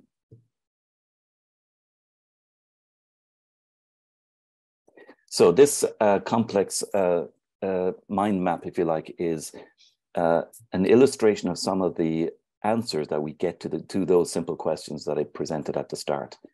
Uh, so when we talk about the who, we're talking about um, you know uh, the different kinds of uh, participants in shapes, if you like. And then we're dealing with uh, you know whether uh, we're dealing with questions of human factors, human capabilities interacting with technology. Uh, we're interacting with the health context, the description of, of each of the pilot sites, the, the geographical context, the demographical uh, aspects. We're dealing with the description of the health system that the each pilot site is interacting with, uh, the different characteristics of the different technologies and so on, uh, the care pathways, uh, part of the health and social care system. So this is kind of a complex diagram, but it shows the, the, the range of complexi complexity that we're trying to manage here in the Shapes project and trying to distill that into a usable representation that both the uh, care recipients, caregivers can utilize to try and understand how shapes interacts with them and how they interact with shapes, um, but also how the system developers uh, can adapt their technologies to the organizational environment. So you can move ahead. Thanks, Stacey. So uh, what we have used here, and uh, I should thank um, Melanie Labor, who I think is on the uh, uh, uh, is on the uh, webinar uh, for uh, doing a huge amount of work uh, to develop these swim lane diagrams or, or, process maps. And what they are intended to do is for each of the use cases, like the ones that that um, Sonja outlined earlier, is to map in detail what each participant, each relevant participant in the use case is doing. And what we have here, if you can see that, is we have swim lanes like you have in a swimming pool. And each individual is occupying one of those swimming lane, swim lanes and moving from left to right, we can see the process of their activities throughout the day. And what's interesting here is that we're treating the Shapes plat platform, the Shapes technologies, so the central platform and the various components, just as another participant, not as the core participant, not as a central participant, not as the island in the middle of the pool that everybody is swimming around. It's just another participant. And you take out the platform, you still have the activities of all the other people. They'll just be doing it differently, as they will be doing it diff differently with the Shapes technology in place. So I know you can't see this uh, because it's it's too small because it's a large, uh, complex uh, diagram. But at the top here, we have the care receiver. And uh, so this is the remote monitoring of key parameters at home. So monitoring things like sleeping, uh, heart rate, uh, uh caloric intake, water intake, urination, uh, things like that. So using the various technologies to um, gather and process that information and provide feedback to both the care recipient, but also their caregivers. So you can move from left to right. You're moving through the course of their, their day, their different activities. And at different times, we have different technologies, different uh, tools uh, or solutions kicking in, uh, dealing with either gathering information or sending uh, information. But like I said, the technology is only one participant. So here at the top, we have the care receiver. We have the, then the Shapes platform and the, uh, the various solutions that integrate with that. Then down below, we have the informal and the professional caregivers who are also interacting with the um, with the uh, care recipient. So the important thing about this is it allows us to see in what way and in what times of the day and throughout what which activities the Shapes platform is impacting on the person's life. Uh, and then we can start to evaluate the quality of that uh, inter intervention. Next one, please, Stacey. So this is a slightly more compact one, but we're dealing with supporting the interaction of the individual with the community. So this is about, it's a different use case where we're looking at how the uh, platform and tools uh, like the, um, the FENOT platform and the OMN DigiRoom uh, facilitates people communicating with each other and engaging in social activities that can be organized uh, in the community. So th this, this use case is about encouraging people to, to be more active and facilitating in that activity when it, comes to socialization. So again, we have the main user, we have the Shapes platform as just another participant in this. Uh, we have informal caregivers, we have community represent uh, or community uh, as an actor, if you like, and we've potentially the, the researcher down uh, at the bottom here. So in this version of it, we, we're including the researcher as a participant. Uh, so the technology provides capabilities those tech capabilities need to be experienced by the main care recipient or the main user, uh, but also by the community as a, as a whole. So the community is an actor within this use case and the informal caregiver uh, as, as well. So the purpose of this is, is, gives us a structure and a framework to be able to evaluate how the technology is impacting people's lives. And when I say evaluate that, I mean, it could be the case that some of these technologies in, in either any, any of the use cases are judged to be perhaps too intrusive or they're not useful enough or they're not usable enough or they cause a disruption uh, or a disturbance in the flow of a person's life or a person's activities throughout their day. So we're not just evaluating how the technology works from a usability point of view or from a, a simple effectiveness point of view in terms of gathering discrete data, but how it fits in overall to the structure of a person's life. Thanks, Stacey. You can move on. So finally, I'm going to conclude with uh, that the, the, points that Work Package 3 has produced extensive elaborations on the daily operational conditions and structures corresponding to identified use cases. Uh, so we, we have uh, all of the use cases have been uh, mapped uh, and studied uh, and, and rendered into these swim lanes. But the swim lane is only a tool. It's not a definitive representation of uh, or normative representation of how shapes should be used. It's not a recommendation for how anybody should implement it, but it, it, it is a worked example of shapes in, in uh, interacting with, in the, the lives of, of people on a, on a day-to-day basis. The process of ConOps development is a continuous loop. So it is, even after Shapes is implemented, it should be done repeatedly to evaluate, continuously uh, assess as to the impact the Shapes is having or that any individual technology is having on people's lives. And then sustainable implementation of the Shapes ecosystem to support the daily activities of users requires collaboration and participation of all stakeholders. So this is not something that is done for or on behalf of the care recipients, but they need to be considered uh, as active participants within the process of developing the concept of operations and also evaluating it. Okay, so that's everything I have to say for uh, today. So thank you for your attention.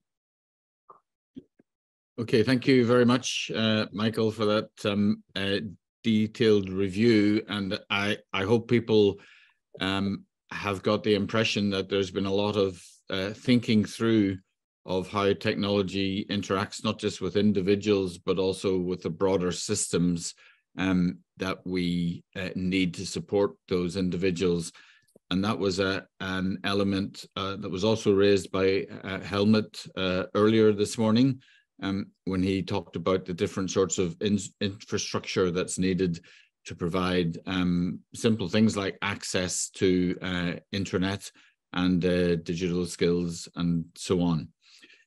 So um, it's now my pleasure um, for us to go over to um, Lisbon uh, in Portugal um, and our colleague uh, Barbara uh, Guerra from um, Edgeneering, which is, I guess, engineering at the edge.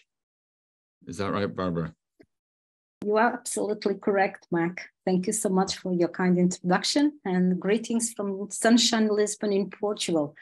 So my name is Barbara Guerra, um, and I am the CEO of Edgeneering, which is a company that is uh, building health and care uh, technologies uh, for a, a, number of years. And uh, because I have a, a, huge background in terms of marketing and business development, this is why we ended up also leading uh, Work Package 7 on the Shapes project, which is dedicated to the exploitation elements and to the sustainability in the long term of the Shapes results. Today, I'm here to present the Shapes Marketplace, which is one of our key exploitable results. So please, the, the next slide where to start. I'm going to start exactly at the beginning. So even from the proposal time, we already knew that there were a lot of barriers and challenges to the access uh, with respect to the health and care digital solutions. So we were quite aware that there was a large fragmentation on the industry market. We knew that there was a lack of awareness, not only about the existing health and care solutions, but also about their benefits to the users um, there was not uh, much harmonization in terms of regulation and standardization that dealt with not only with the health and care solutions, but also with the data, the health data that came from it.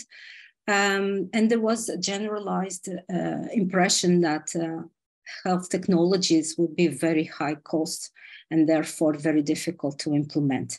This also compounded to the uh, reluctance of healthcare um, providers and even professionals to adopt these technologies in their daily uh, activities.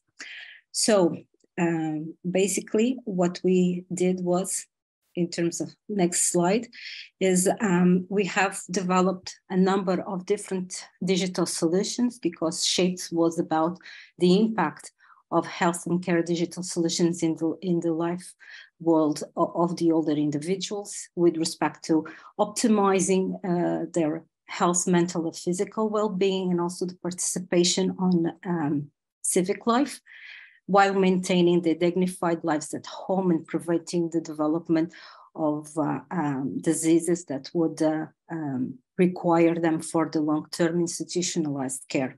So we had developed adapted a number of digital solutions that ranged from, and you can see here in the image that I am showing, um, it is, uh, we had solutions like robots, assistive robots, we had solutions like health and well-being platforms, we had solutions like rehabilitation platforms that we also see here in another presentation from the pilots.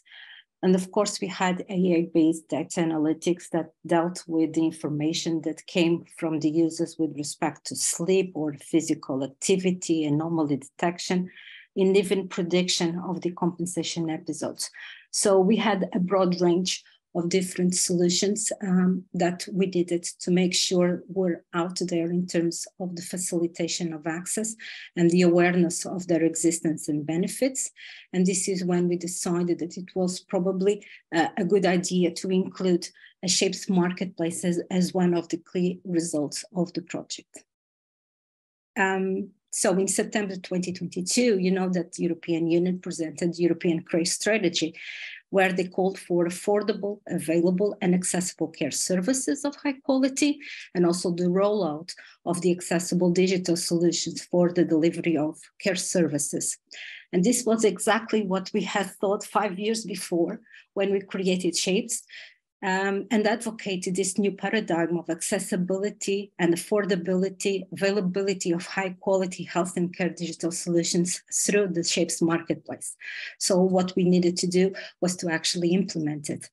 Next slide, please. So then we started with this building process. And uh, throughout the course of 22 months, the Shapes partners using uh, co-creation methodology where we actively involve other individuals, health and uh, care providers, uh, and also health and care um, professionals to basically provide some of the bases that we use to build in terms of the technological solution, the marketplace. So one of the key aspects that we had was to define design approaches that were both inclusive and universal. And in this respect, we counted on the support from the European Union of the Deaf and the World Federation of the Deaf of the blind deaf because they were absolutely instrumental to ensure that our marketplace would maximize on cultural acceptance on inclusivity and even adequacy to its purpose, which was to support the healthy aging, and also to its context, which was to provide these services for older individuals. Uh, and of course, that in the process, we also uh, consider um, security aspects to ensure the privacy and the protection of the personal data of all the users within our this uh, platform. Next slide, please. And so after 20, two months of work, intense work, uh, combining all the partners and even the ecosystem of stakeholders in shapes. Um, the marketplace was born. Uh, and it is basically a one-stop shop where you basically will see all the different solutions and services that will serve the silver economy. So the idea is like like an Amazon type of platform where you will find um, an ecosystem of different digital solutions that users can search for, analyze, download, and use. Um, or contact the providers to make sure that they have a bespoke type of solution for their organization. And the idea is that you will have here one place where you can more or less compare see what is there, understand the benefits of each of the solutions that are involved here. And there is a direct connection between the demand and the supply with full transparency to ensure that there is competitiveness between uh, the care industry, but also um, relevant information for the users that can then download and use these solutions. Also, at the same time, we were creating a viable business model for the SHAPES consortium, aiming for the long-term sustainability of our results. So today, we have more than 40 digital solutions that were um, well integrated and demonstrated over several sites across Europe, as in the presentation that Sonja mentioned here in the pilots. But more than that, we have gathered digital solutions coming from um, partners and from uh, the open calls that were basically individuals and companies that had different solutions that wanted to be shown and really wanted to pursue this uh, method that we had in place of building this trust on the digital solutions in a way that they were co-developed with the older individuals to make sure that they engaged with the different solutions and were able to use them in the in the pilot sites. So next slide. This is a slide where basically um, you have uh, the situation where we started, started to build specific principles within our marketplace.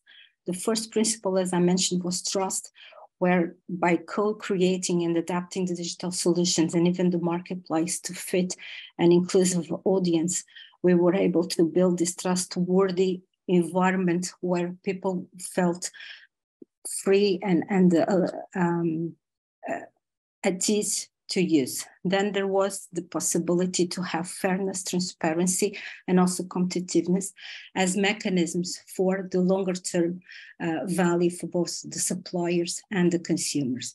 So the suppliers will be able to go into the marketplace, provide their own solutions, and check on competition. And then they will see that probably they have to improve their own solutions, either by having a more competitive price or by providing additional services, and always trying to strive for quality. So this is what we mean by adding to the competition and having a transparency within our uh, services. On the part of the consumers, they were able not only to see what was available, compare them, but they also would be able to have bespoke approaches, specifically addressing those suppliers that were within their local economies, for example, and local suppliers and having them boost in terms of, of, the offer that they would present to the different organizations or to local places. And overall, both suppliers and consumers would benefit uh, in terms of the marketplace from what we call predictability, which is a possibility to balance a consistent capacity from offers and from the procurement. So when uh, situations arise where we have specific solutions that include, uh, their delivery will take a longer time or where it may cost a lot of money, for example, the assistive robots, there is the possibility to engage them in longer term relationships that will ensure that, okay, I'm not just doing one robot for a specific person, but I'm actually doing three or four because I am bulking on the order to present this. And this is the type of, of uh, engagement that the marketplace is uh, offering and uh, benefiting all of those suppliers that would like to reach for a, a higher um, market um, place. So basically, what we have built is also a viable business model for the long-term sustainability of the Shapes results. Um, we have defined eight business cases to understand exactly how the access to the shapes data, the information, and even the ecosystem of digital solutions would be available to the different users, the targeted audiences, not only older individuals, but also care professionals, also the health and care service providers. We have defined a specific governance model to allow us to more or less understand exactly how, from an administrative point of view, we'll be able to implement this in the long term with a governance that will be able to sustain the values of shapes and to continue its work throughout the times. We have defined, of course, different exploitation avenues with business models that range from free access to specific users like researchers uh, and older individuals to subscription modules uh, if there are specific elements of commercial value to be exploited. But most of all, we have set out a specific core of values and principles and a code of conduct to the Shapes marketplace that will entail what we call the Shapes seal of approval. This means that although we have built this trusted, open, fair and competitive place built on the activities that were done within shapes we now have been able to translate this into new acquisitions that come into the marketplace. So the new digital solutions that are going to be filing a, registration into the marketplace will also have to be built on the same principles that we have always deployed during the SHAPES project, that we always try to apply with respect to the safeguard and the, the, fundamental rights of the other individuals and to ensure that when the people are going to access the marketplace they will continue to have innovative digital solutions to work with to help them and to benefit them in the same terms that we had when co-developing all these solutions during the shapes project. So thank you so much for your attention. And I am now available for any questions you may have. Thank you. Thank you uh, so much, Barbara. And um, well, thank you for being available, but our our schedule um, really doesn't allow for many questions at this point. Um, but we may have, uh, uh, well, we will have opportunity for some questions later um, just so that we can uh, stay on schedule, uh, want to really move move on. But thank you so much for uh, again demonstrating the huge amount of work and and thought, and emphasizing the whole area of uh, transparency and and trust, and how we're trying to bring the the science of piloting um, the technologies into the um, into the marketplace and balancing the the idea of sort of supply uh, and and demand. Um, so I think if we can move on to the uh, next uh, presentation, which uh, really continues with the theme of the marketplace and uh, Ioannis uh, Kefalouchas, I hope that's pronounced almost correctly, um, from mm-hmm. Hellenic Mediterranean uh, University, which I had the pleasure of visiting just a few weeks ago, uh, is going to uh, give us a marketplace uh, demo. Thank you, thank you, Mac. Thank you, Barbara, for the presentation of the Shapes Marketplace. Um, I hope you can see my screen. Yes. Uh, okay, perfect. So, uh, hello, this is uh, Ioannis Kefalouchas, as Mac stated, uh, research associate from the Hellenic Mediterranean University. Um, I am a 29 year old uh, white male that have black hair and uh, wearing a black shirt. I know I'm colorful. uh, today I'm going to present to you the Shapes Marketplace. Uh, the Shapes Marketplace is a one-stop shop solution for healthcare uh, digital solutions and uh, datasets. Um, this presentation will take roughly 12 minutes, let's say, as we delve into the key features and functionalities of the marketplace. Uh, our journey begins uh, at the terms and condition page. Uh, I know it's not the most thrilling part, but it's essential, it's crucial to ensure security and trustworthiness of the marketplace. So after that, we'll, be, we'll, we'll, go to the top corner of the of the page, to the login page. Um, here we'll render our credentials. Uh, the credentials we have created from the shapes a SAPA component.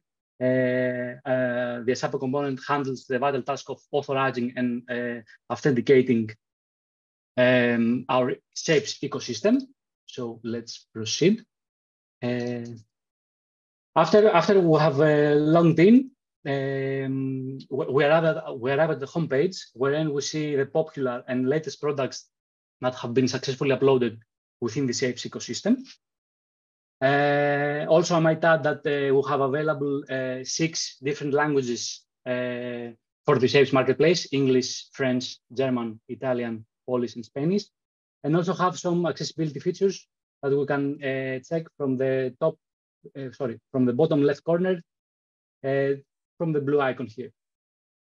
So let's hastily proceed to the products page uh, wherein we see all the available products, digital solutions, datasets that exist within the Shapes ecosystem.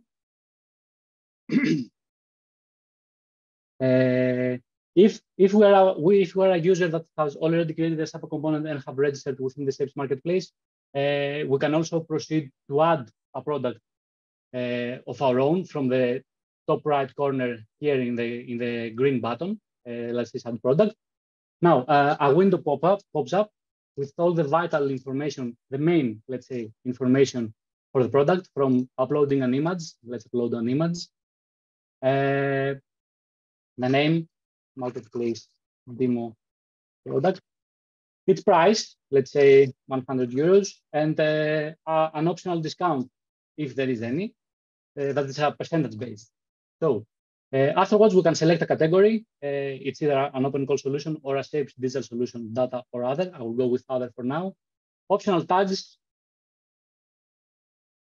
uh, whatever you may want to be able to filter and search for your digital solution to be easily accessible and findable. Details, this is a marketplace demo product, and an optional description. Apart from that, we also have the options to either uh, request for our uh, product to be publicly available or keep it as hidden from the two options here. Whenever we request a, a product to be publicly available, uh, a, a Shapes admin, a Shapes marketplace admin, sorry, will have to verify that this digital solution is valid to be within the Shapes marketplace. Finally, we can also uh, utilize this field here, wherein we can provide the URLs for Google Play Store, Apple Play Store, or other downloadable URLs, for example, the digital solution site, uh, for the customers, for the end users to see and access. So I will request this uh, product to be publicly available, and I will submit my process. Now, uh, it's a successfully created product. I can filter from the blue button here in the top right corner to see the products that I have created. Uh, these products cannot be seen by other users since it's not verified yet by a Shapes Marketplace admin. Uh, but going, going to the information here, I can see the full, full uh, functionality and customization that Shapes Marketplace provides. So uh, if we click here the edit product uh, button that is disabled at the moment in the top right corner with blue, we go to the edit page. From here, we can edit images, upload new images, or delete existing ones. We can provide a consent form. The consent form is uh, uh, a mandatory requirement for digital solution providers and uh, dataset providers if there are ethics and privacy concerns uh, within the, the digital solution. So here, this is a demo consent form for our product. I'm going to save I'm going to save this one uh, uh, as a as a mockup consent form for this product. We can alter uh, anything there is uh, about our um, product, and we also have some extra functionalities after we have published our product. For example, we can provide a video uh, for our product, sales product video, that can showcase what our digital solution is, an introduction to our digital solution, and what the benefits of using our digital solution is. This is a mock-up video. Uh, following on, on, we can also provide custom documentations. The custom documentations have two options. We can either provide an already created PDF file, or we can add a custom documentation which prompts us to uh, an editing, let's say, uh, page to write, to write our custom documentation using bolts and pretty much everything you will need to promote your digital solution. So we're going to add the custom documentation. Uh, I, I think the documentation failed. Um, yeah, we'll have to we'll have to verify the product first, but I'm going to showcase this just in case. Uh, so following one, we have the license. The licenses uh, are some keys that the digital solutions may require for uh, the end users to use the product. Uh, we have several, um, we have the, this method here to provide a, a license from the provider. Uh, it provides the endpoint, so a URL for the endpoint that can extract the, the license and the API key to successfully be able to communicate with the provider. Uh, also, there is a help button here in blue uh, that, that creates a, a, a, test example request method if you want to manually test it beforehand. Uh, I'm not going to add a license for, for this demo pur purpose. So uh, let me get to my other monitor to verify our product. I'm not going to show you the admin panel for to ensure the privacy of uh, our already existing users, and I'm sorry for that. So let's uh, suppose that I, I'm going and I verify the product because it had to provide all the information that I wanted. So I uh, validate the program, the product. Okay, perfect. Now I'm going to log out from this uh, user and going to join as an end user that still hasn't provided this information within the Shapes ecosystem. Now, uh, it's still the same, the same view as before, and we're going to we're going to search marketplace. Okay, marketplace demo product, and we're going to search for the product that we have already searched for. We see that the product is uh, now available since it has been validated, and we'll go and see its information. Uh, everything here is available apart from the executable files that the digital solution provider could provide, uh, because that would be available, will, will, be, will be made available to the user after a successful purchase. So let's say that I'm interested in this uh, product and uh, I want it. I will going to add it in the cart. Before I can add it to the cart, I have to agree to the consent form that the digital solution provided made tailored to that product. Let's say that I agree. And uh, from the top right corner, uh, in the blue button here, the cart, I can go to my cart page, whereas I can see all the, the digital solutions uh, that I have in my cart, and I, will, I can either clear or go proceed to the checkout page. Clicking thus to the checkout page, uh, I'm here notified that my profile basic information are missing. Uh, while I can see my checkout list, the price, the discount, and the product that I wanted, I cannot proceed to the checkout. So for that, uh, we're going here to the profile page that is marked with a, the, a big blue button here, go to profile, where we can see all the profiles, sorry, all the details uh, associated with that, with our profile, from profile details, contact details, and billing details. Uh, optionally, we can also upload uh, an avatar for our profile. Uh, I'm not going to fill in this because I have already an uh, verified uh, profile because after we have completed the filling, uh, after we have filled the information, again, a admin, a marketplace admin have to verify that we're a legitimate user and not a bot that tries to enter the marketplace. So I'm going to log out and join with this one. Now, with this one that will have been already verified, uh, marketplace. I can see our test product that's here. I will add it again in the cart, agree to my consent form, go to the checkout page, proceed to the checkout. It verifies that our profile is good to go, and uh, we can proceed to the payment. So uh, the Shapes Marketplace have uh, integrated the Stripe payment uh, module within to assess and verify security for our transactions. However, until the project ends, we are still in test mode. Therefore, we're going to use a, a non-valid debit card to proceed with the payment. Uh, we can see here the test cards. So I'm going to click the pay, the pay button and I will be forwarded to the Stripe payment module. So here I'm going to uh, place the card information. The year is irrelevant. 26, 999, 9 card, and I'm from Greece. Uh, I agree to pay. I will not save this card. And we see that the, our order have been successfully completed. Uh, afterwards, after five seconds, actually, will be redirected back to the Shapes marketplace.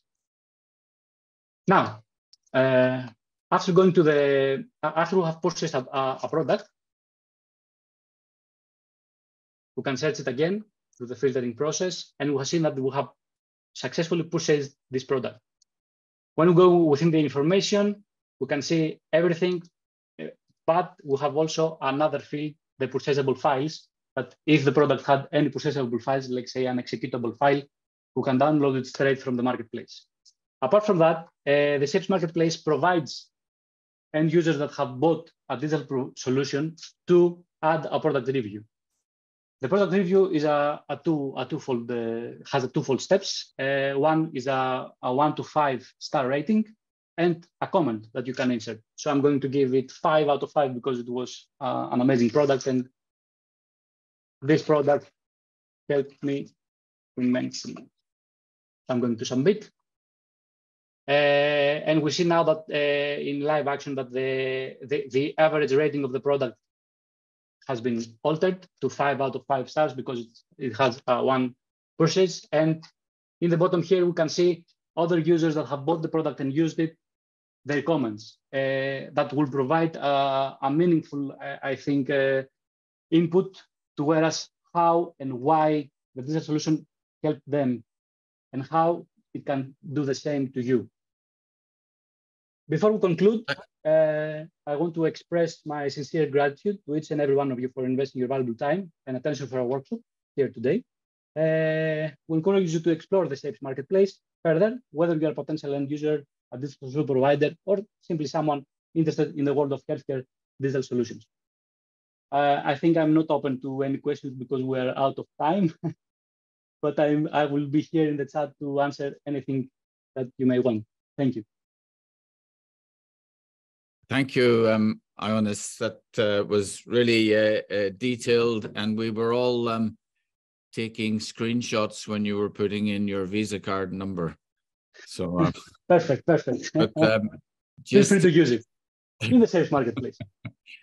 Just to comment on on the uh, payment, because I know that will be of interest to people that we envisage. It may be individuals uh, buying products on the marketplace sometimes. It may be service providers and then providing individuals with a code um, where they can redeem the product. Um, it may be municipalities um, hospitals uh, etc et so the marketplace is set up to provide uh, for a range of different ways of uh, of vending and paying for um, different technologies so um, just to be uh, respectful of time, um, we, we'll, we will move on. But thanks again for that uh, lovely demonstration. Thank you, Mike.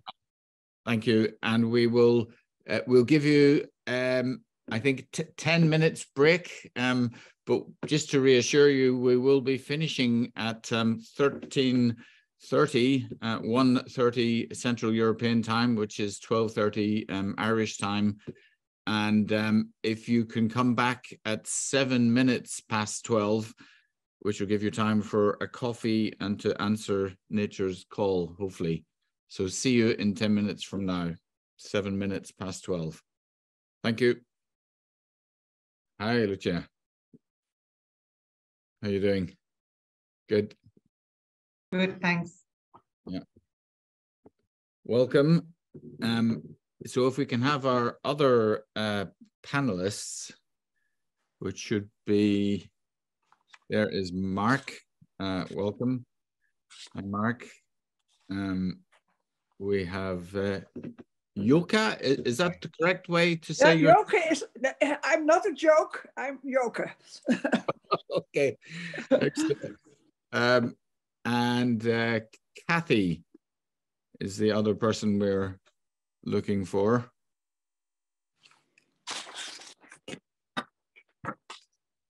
So just to remind um, our panel members and um, the uh, other participants that we've asked each panel member to give us sort of five minutes of uh, reflection um, and then we're going to have a, a, broader discussion and also use the uh, Slido uh, function.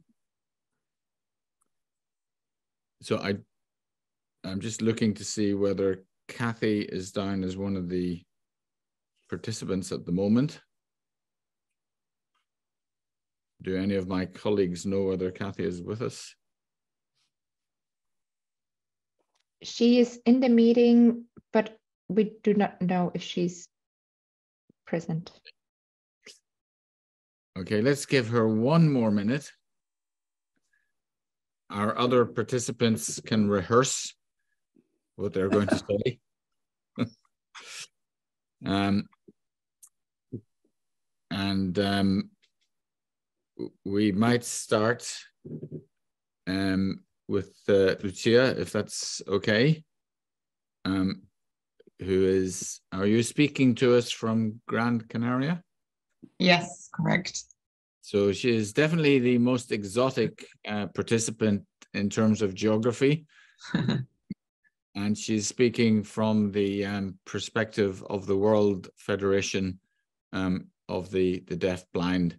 So I think if, if you can give us your uh, initial sort of five minute um, impression and commentary, that would be great, Lucia. Sure. Um, thank you, Mac. Uh, hello, everybody. Um, my name is Lucia Darino. I represent the World Federation of the Deaf Blind. I'm a brunette Hispanic female in my early 30s, and I'm wearing a white blouse. Um, so when we talk about the question, what will a project like this be exploring in 10 years from now? Um, I have a couple of thoughts that I'd like to share with you. First of all, just uh, a quick background about WFDB. We are a, non, a global non-governmental organization. We have more than 75 members all around the globe. And the idea is to, or what we bring to the table is the perspective of persons with deaf blindness. In this case, uh, we have been a consortium member of the SHAPES project, and we have been able to provide feedback and insights on older people with deaf blindness and really make sure that the project is as inclusive and accessible as possible to people with deaf blindness. So when we talk about future projects, what will they look like? I think it's important to stress um, the role of technology and assistive devices. They're already important today, but I can imagine how important they will be in 10 years from now. And this will be a key element. It's already a key element for people with disabilities, but obviously it will be key for as well persons with deaf blindness.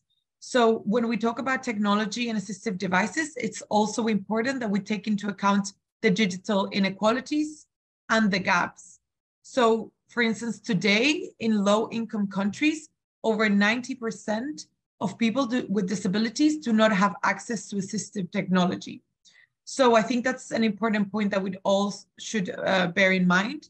And when we talk about technology, we should make sure that the human rights are not compromised and that access to opportunities is a reality. Another important point is intersectionality. So intersectionality takes into account the multi-layered aspect of humans and it takes into account the exposure to multiple discrimination, to the intersection of inequalities. So, so I think intersectionality is a key approach because communities are becoming increasingly diverse. They're becoming increasingly multi-layered. So I think it's important that projects in the future have cross, cross-cutting components that relate to accessibility, that relate to inclusion, that relate to diversity. So I think it's important that we really bear this approach in mind and that includes the perspective of underrepresented groups. So when we talk about projects, we really need to make sure that we're reaching those further behind in line with the Agenda 2030 by the UN. So really make sure that those that are usually less visible, like persons with deaf blindness, for example, are really, their perspective is brought to the table. And of course, when we talk about intersectionality, for instance, if we think about an older Black person with the blindness that belongs to the LGBTQ community, for example, um, we really make sure that you know we're really reaching out those groups that are usually underrepresented and that are often an afterthought. Another important point, I think it's civil society, self-advocates, and representative organizations. We hope that they will become more empowered and stronger than ever. So we really need to make sure that in future projects and any consultation or decision-making processes, we are including representative organizations, we're including activists, we're including people that speak for themselves and civil society. So in this case, I think partnerships are key. So we really should strive to make sure that we're engaging different groups in society. And we're making sure that we do not speak on behalf of any groups, but we really make sure that they, you know, have a, a representative role and they are empowered. And last but not least, I think it's important today data collection, but I think in the future, data collection and more specifically, disaggregated data is key. So when we talk about disaggregated data, we are talking about data that has been filtered, that has been um, categorized by, for example, gender, disability, age. So here data in bulk is important, yes, but it's also important that it's disaggregated. So then we can include or, or we can analyze specific data that belong to specific groups. So for example, if we collect data on disability, but we're not disaggregating the data on disability, so what, kind what type of disability? We know that sensory disabilities or physical disabilities, they, they have different requirements, they have different needs. So we would make sure that we're not leaving groups of persons with disabilities behind. And of course, funding is key for this. So when we talk, think about projects, we, we also should think about how funding is collecting data and doing it in the best way possible. So I would just like to encourage the audience to reflect on the importance of human rights, on inclusion and diversity. And these must be core values for future projects. And I think the SHAPES projects provides an excellent example of a good practice on how to include persons, organizations of persons with disabilities, and in our case, underrepresented groups like persons with deaf blindness that are often left behind. So back to you, Mac. Thank you, everybody. Okay, thank you so much, uh, Lucia. And um, really great that you emphasized um, issues around intersectionality and uh, in, inclusion, uh, the role of uh, civil society, and uh, the idea that the deaf blind community um, is really also an opportunity for improving accessibility of whether it's platforms or particular technologies that our, our technologies of the future for older people have to be designed for for everybody. Um, and so the challenges around communication um, are a, a, challenge for for everybody. And and a more a truly open platform is one that's equally accessible to to everyone. So thank you very much indeed. And uh, if we can go to uh, Joka de Ruter Zvanikin, if that's correct. what um, name yeah, uh, and, that's and, um, correct. That's we really correct. look forward to your uh, contribution with your overview from the the uh, very expansive age platform uh, Europe, Joka. So over to you, please. Thank you. It's uh, I I uh, rehearse. Joke de Ruiter Zwaniken. I'm board member of uh, Older Women's Network Europe, and uh, we are one of the organizations of uh, Age Platform since many, many years. Uh, and saying uh, Older Women's Network means that I, I'm looking at life with, um, um, from a gender perspective, uh, if I look at life and politics I, I had the honor to uh, and pleasure to uh, already participate in previous uh, uh Shapes Dialogue workshop, na uh, namely the diversity and empowerment, understanding the realities of older people, which I uh, shared is what does it mean getting older based on my own experience. this topic, over 10 years, a project? What will it uh, explore? Uh, I also therefore immediately started thinking about me in 10 years. I will be 90 then. And what do I think that society will look like? And how to be very old and face more vulnerable aspects. Uh, what would be of help and how the society is looking then of and two uh, seniors. Clear is that getting older in 10 years, we all these have to start now to prepare. Um, and I hope that a research project in 10 years um, uh, some crucial principles uh, will, will count. And I already heard something about that and stressed that out, like Lucia. It will reflect diversity of the person. Uh, the all over narrative is now that aging depicts all the people as inherently declining, passive, and vulnerable. Yet, uh, aging is a long, a lifelong process involving both gains and losses during the combination of biological and psychological and social mechanisms. We are not vulnerable as individual, but face barriers that impact our well-being. Promote the rights of all the uh, people in research.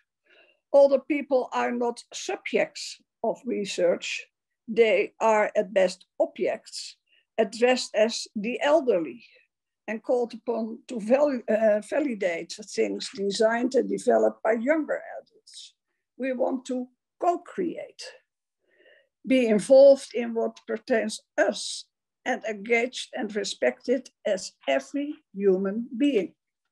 Leave no behind, no one, and empower all the people, especially in long-term care by promoting our autonomy, our independence, our participation, and our inclusion. Improve the quality, especially for the lives of informal carers.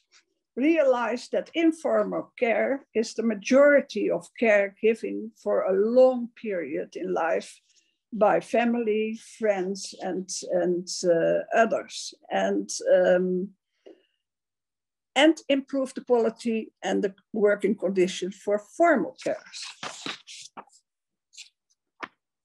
Adopt in, in, uh, in the future uh, a life course perspective. Uh, embracing aging as part of a spectrum and acknowledgement that everybody ages and everyone ages on a different way. And last but not least, start directly in collecting data of people over 60 till 100 or more. Um, it's, it's Eurostat stops in most cases after 70. And I can tell you if there are no data, there's no policy. Thank you. No, thank you. Thank you very much. Um, and uh, just that last uh, snippet if there is no data, there is no policy. Um, very, very true. And I think in the sort of aging space, we, we are getting better at providing data, but the data is not yet being turned into exactly the sort of uh, policies that, that we need.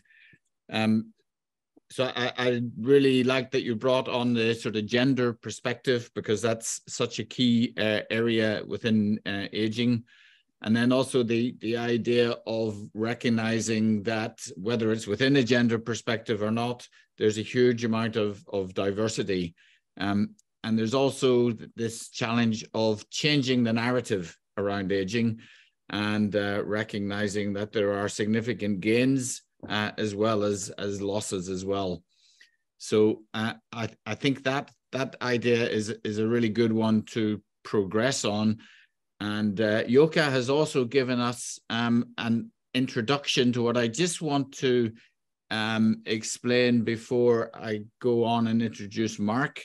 Um, and that is that we're asking you with the Slido, just as uh, Joka was mentioning there, to anticipate what projects like this should be doing um, in 10 years' time. So we've given you two uh, series of suggestions. Um, and we're going to go to the next two. But the access code is the same as, as you had before for the previous Slido. Uh, and you'll see it there in the chat again. Um, and so please uh, respond to us with ideas of what projects like this should be doing uh, in 10 years time.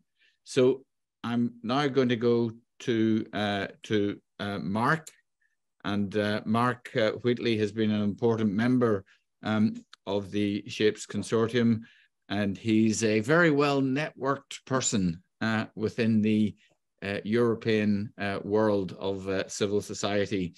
And he's speaking on uh, behalf of the European Union of the Deaf. So over to you, Mark.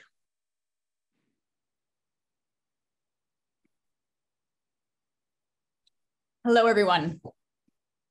My name is Mark, and I'm a middle-aged between uh, around 50, aging, and have a plaid shirt on. I am deaf and I'll be using sign language, and you'll be hearing a, a female voice as the interpreter. All right.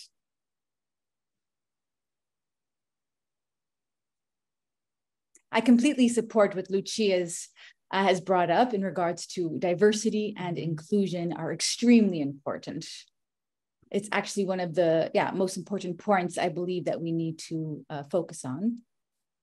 And within the Shapes project, I believe that it's been one of the very few projects out there that is disability led that they are working within the project. I have seen so many European projects that have dispersed all of their information and then said, oh, wait a second, it's not accessible. It was an afterthought, or they didn't even have the afterthought, that they have produced so many different types of platforms, what have you, for the disabled community, for the deaf community, for the deaf-blind community. But one of the strengths of the SHAPES program, that project, is that we've been involved from day one.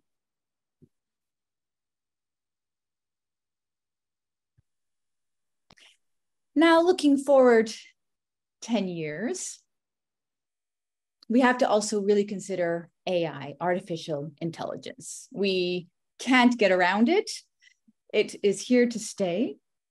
And again, if we're looking even at sign languages and we're looking at different platforms, uh, we also need to think about how AI will have an, an impact we have a sort Alexa, if you will, the uh, sign language. We have Alexa, which is how fortunately not accessible for the deaf, but in the future, uh, AI will be integrated and AI solutions with sign language will also be integrated in these platforms. So voice to sign solutions, we have some software where you can speak and there's be some basic sign language to where at one point it will be possibility that they can then fully speak and it being translated into sign language using AI and they can speak to anyone. But when we look at the Convention for People of Disabilities, the CRPD, it we need to make sure that it complies with the UNCRPD. So there can be many innovative platforms, but we also always need to keep the UNCRPD in mind and make sure that it is informed by the UNCRPD. We also have the European Disability Card. And this will also be a very important step for the disability community. It recognizes that disabled world needs accessibility. I'll give you an example. Currently, disabled people, if you will, we are landlocked, if you will. And the reason why we're landlocked is because we are assessed within our own country, but that is only approved and avail and recognized in one country. We cannot bring this with us to another country. We need to be reassessed and be assessed in their own country under their own rules and be certified or go through whatever processes they have. And with the European Disability Card, we'll definitely enjoy that freedom to move, like our non-disabled um, fellow citizens have for many years. So this is something important to realize that there'll be more um, movement. Now we need to look at ethics as well. There is a lot of data that we are collecting within the healthcare system. However, we need to make sure that we are very ethical that needs to be used ethically. So ethically used data that we need to be very aware on what that entails.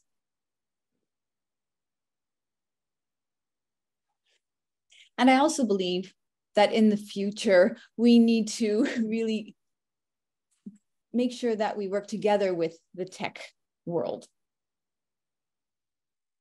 I believe if we partner with the tech communities more often, uh, that we can forward better. Again, there are many innovations out there, huge companies that are inventing many different types of technology, but many of it is not accessible. Again, it's either an afterthought, and that becomes way more expensive to do the adaptations. It's best if we partner with them from the very beginning, but we need to realize that we need to go to them as well, that they think of accessibility and the disability, disability community from the start.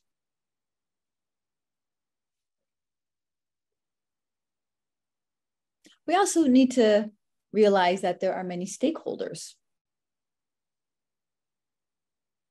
uh, that are involved, but we need a diverse amount of stakeholders, not keeping within our own bubbles. If we truly work together with so many stakeholders, then we can have a, also a truly intergenerational approach. And that's when we can take stock and use all of our strengths. We can communicate. We need to communicate with both the older generations and the younger generations. Uh, and this will happen through technology, and technology can support that intergenerational approach and communication you know, our mental well being is also something that we need to really consider. It is so easy for someone to be isolated. So it is really important that we have full access to, for us, it's sign language, so that we are not isolated. So with all these points in mind, uh, these are just a few. There's a lot more I could share, but uh, due to the limit of time, I will keep it to this. But I just want to leave you with that we need to remember that the disability, community also needs to lead this fight when we need to work together with the tech community and we need to teach them how to incorporate and involve the deaf community and any disabled communities and all communities. We can make sure that the technical solutions are actually viable for all the communities that they're trying to involve. Again, many technical solutions are not available, not accessible to deafblind or to the deaf, even though they say that it's inclusive. So when we look at the word inclusive, let's all just please keep um, our eyes on what inclusive means, because until now, inclusive is a very narrow definition and it's not including deaf and deafblind people. So I believe in 10 years time, there'll be a great shift to true inclusion and inclusive data and that the deaf and deafblind people will be on the map. But we need to make sure that they are, because that won't happen uh, by itself. And that way, if we look at the most excluded, we can include everyone. And then we will truly leave no one behind. And like they say, nothing about us without us. We're here. Please make use of us. Thank you. Yep. Thank you uh, so, so much, uh, Mark. And um, in fact, I really like to make that link between social inclusion and, and mental health, um, as you were mentioning before, that uh, these are two intimately related processes and exclusion has has mental and physical uh, consequences along with the, the sort of social uh, consequences. Um, I also love that you sort of grounded this in a rights-based uh, approach in terms of the UN Convention on the Rights of Persons with Disability. And while the convention has had a significant impact in the disability community, um, it is only starting to have the impact that it should have uh, within the uh, aging community across Europe um, as well. And uh, this has stimulated a, a range of, of new legislation coming uh, in across Europe. And the best lever for making that legislation work is the compliance with the UN Convention on the Rights of People with Disability. Um, you mentioned um, AI in terms of being a significant uh, player in, in the future. And I'm sure that is an issue that we will uh, talk a little bit more about now. Um, and I'm going to uh, go over now to uh, my uh, friend and colleague, uh, Cathy, who um, the Cathy's brief was to be very critical of us, but to be very nice as well. And uh, she's one of the best people at combining these two two attributes. Um, Cathy um, is a professor at University College London and the academic lead of the Global Disability Innovation Hub. And indeed, she's, she's led a, a very large uh, project, AT2030, that looks at uh, digital and assistive technology provision um, worldwide, but particularly uh, within Africa and uh, within Asia as well. So um, thanks for joining us, uh, Cathy. We like you. You have a very big house behind you. We're very impressed. Um, it, it, it, masks my very small flat. Okay. in London. Yeah, well, welcome. UCL. Yeah. No, thank you. And uh, as Mac says, uh, he is a friend, uh, but I, I, I can still be critical of friends, as he knows. We've had many debates over the years.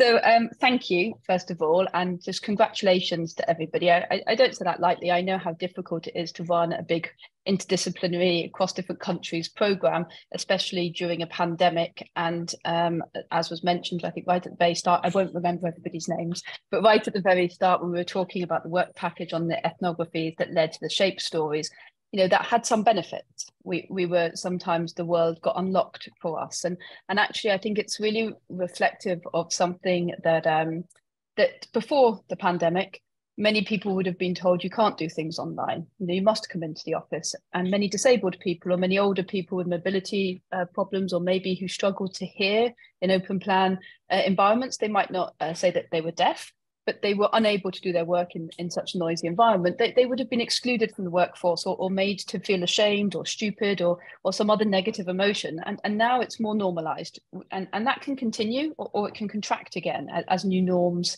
um, begin to, to settle. And so I, I really do think one of the things that stood out for me in, in, in your project was the, the interdisciplinarity that actually worked. so, um, which is hard it's hard to get things like a marketplace. It's very easy to be critical of a marketplace. You put up a marketplace. It's very easy to have some, you know, design considerations about how maybe maybe some of it it could be better. But it's also very difficult to do full user centered design uh, within that. And I think one of the things that came out through the shapes through today's uh, talks was the number of complex theories that we used to try and understand this problem.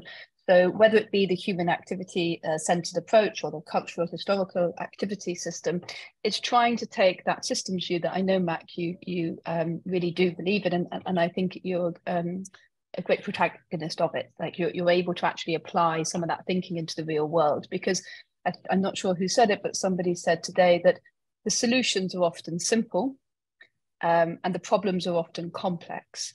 So oftentimes we have problems with the, the likes of inclusion that Mark just mentioned, where people might believe a solution to be inclusive, and yet it excludes a, a huge section or even a small section of society, but an important section of society. In the same way, as people get older, they may or may like to take on the mantle of being disabled. They may hate that label, or they may think actually that is who I am. I'm actually, I've always been a disabled person. I'm an older disabled person, or actually something happens where I begin to feel I am disabled, and, and other people will never want to be called that. And so these labels can sometimes make us fight amongst ourselves, which I think is, is a, a problem when actually we need to, to come together more. Um, one of the, the, the challenges, I think, when a project like this ends is that it ends. Um, and I would think I'd love to hear how, how, it can continue, how elements of it can continue, how things like the marketplace can, can, can continue, how it can maybe join forces with other marketplaces that are arriving uh, around the globe, things like the ethnographic stories, how we keep those going, because in 10 years' time, those stories will be very different because the technology um, will be very different.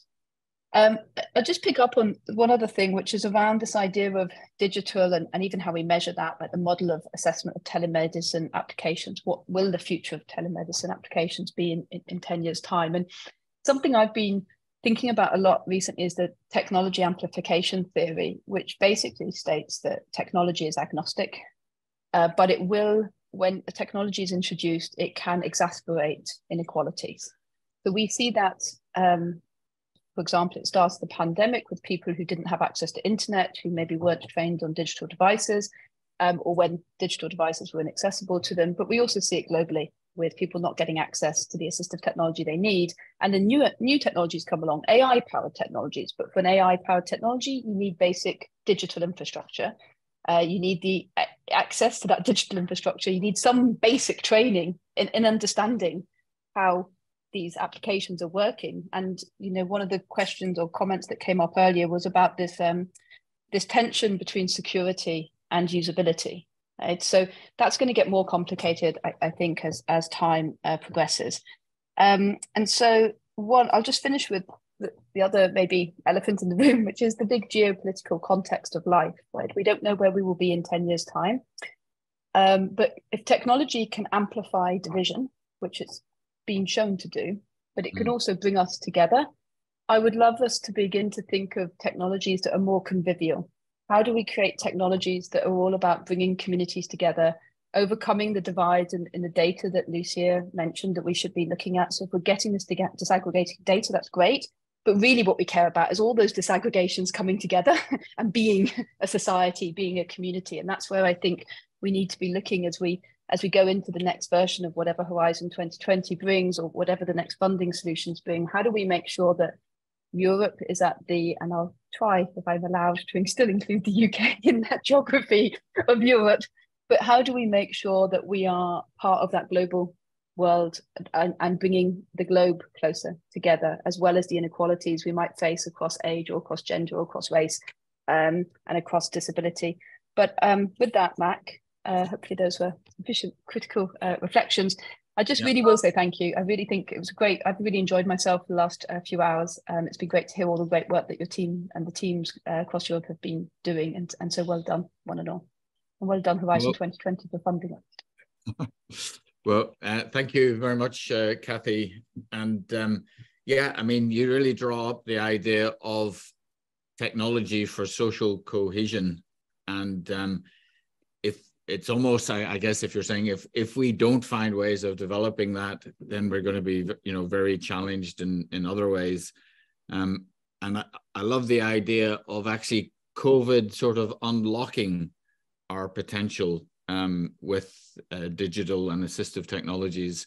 And certainly uh, as you know within the irish context we we found that we were able to accelerate things during covid uh, in terms of uh, remote uh, provision of services that would have maybe taken us a decade to do uh, without COVID.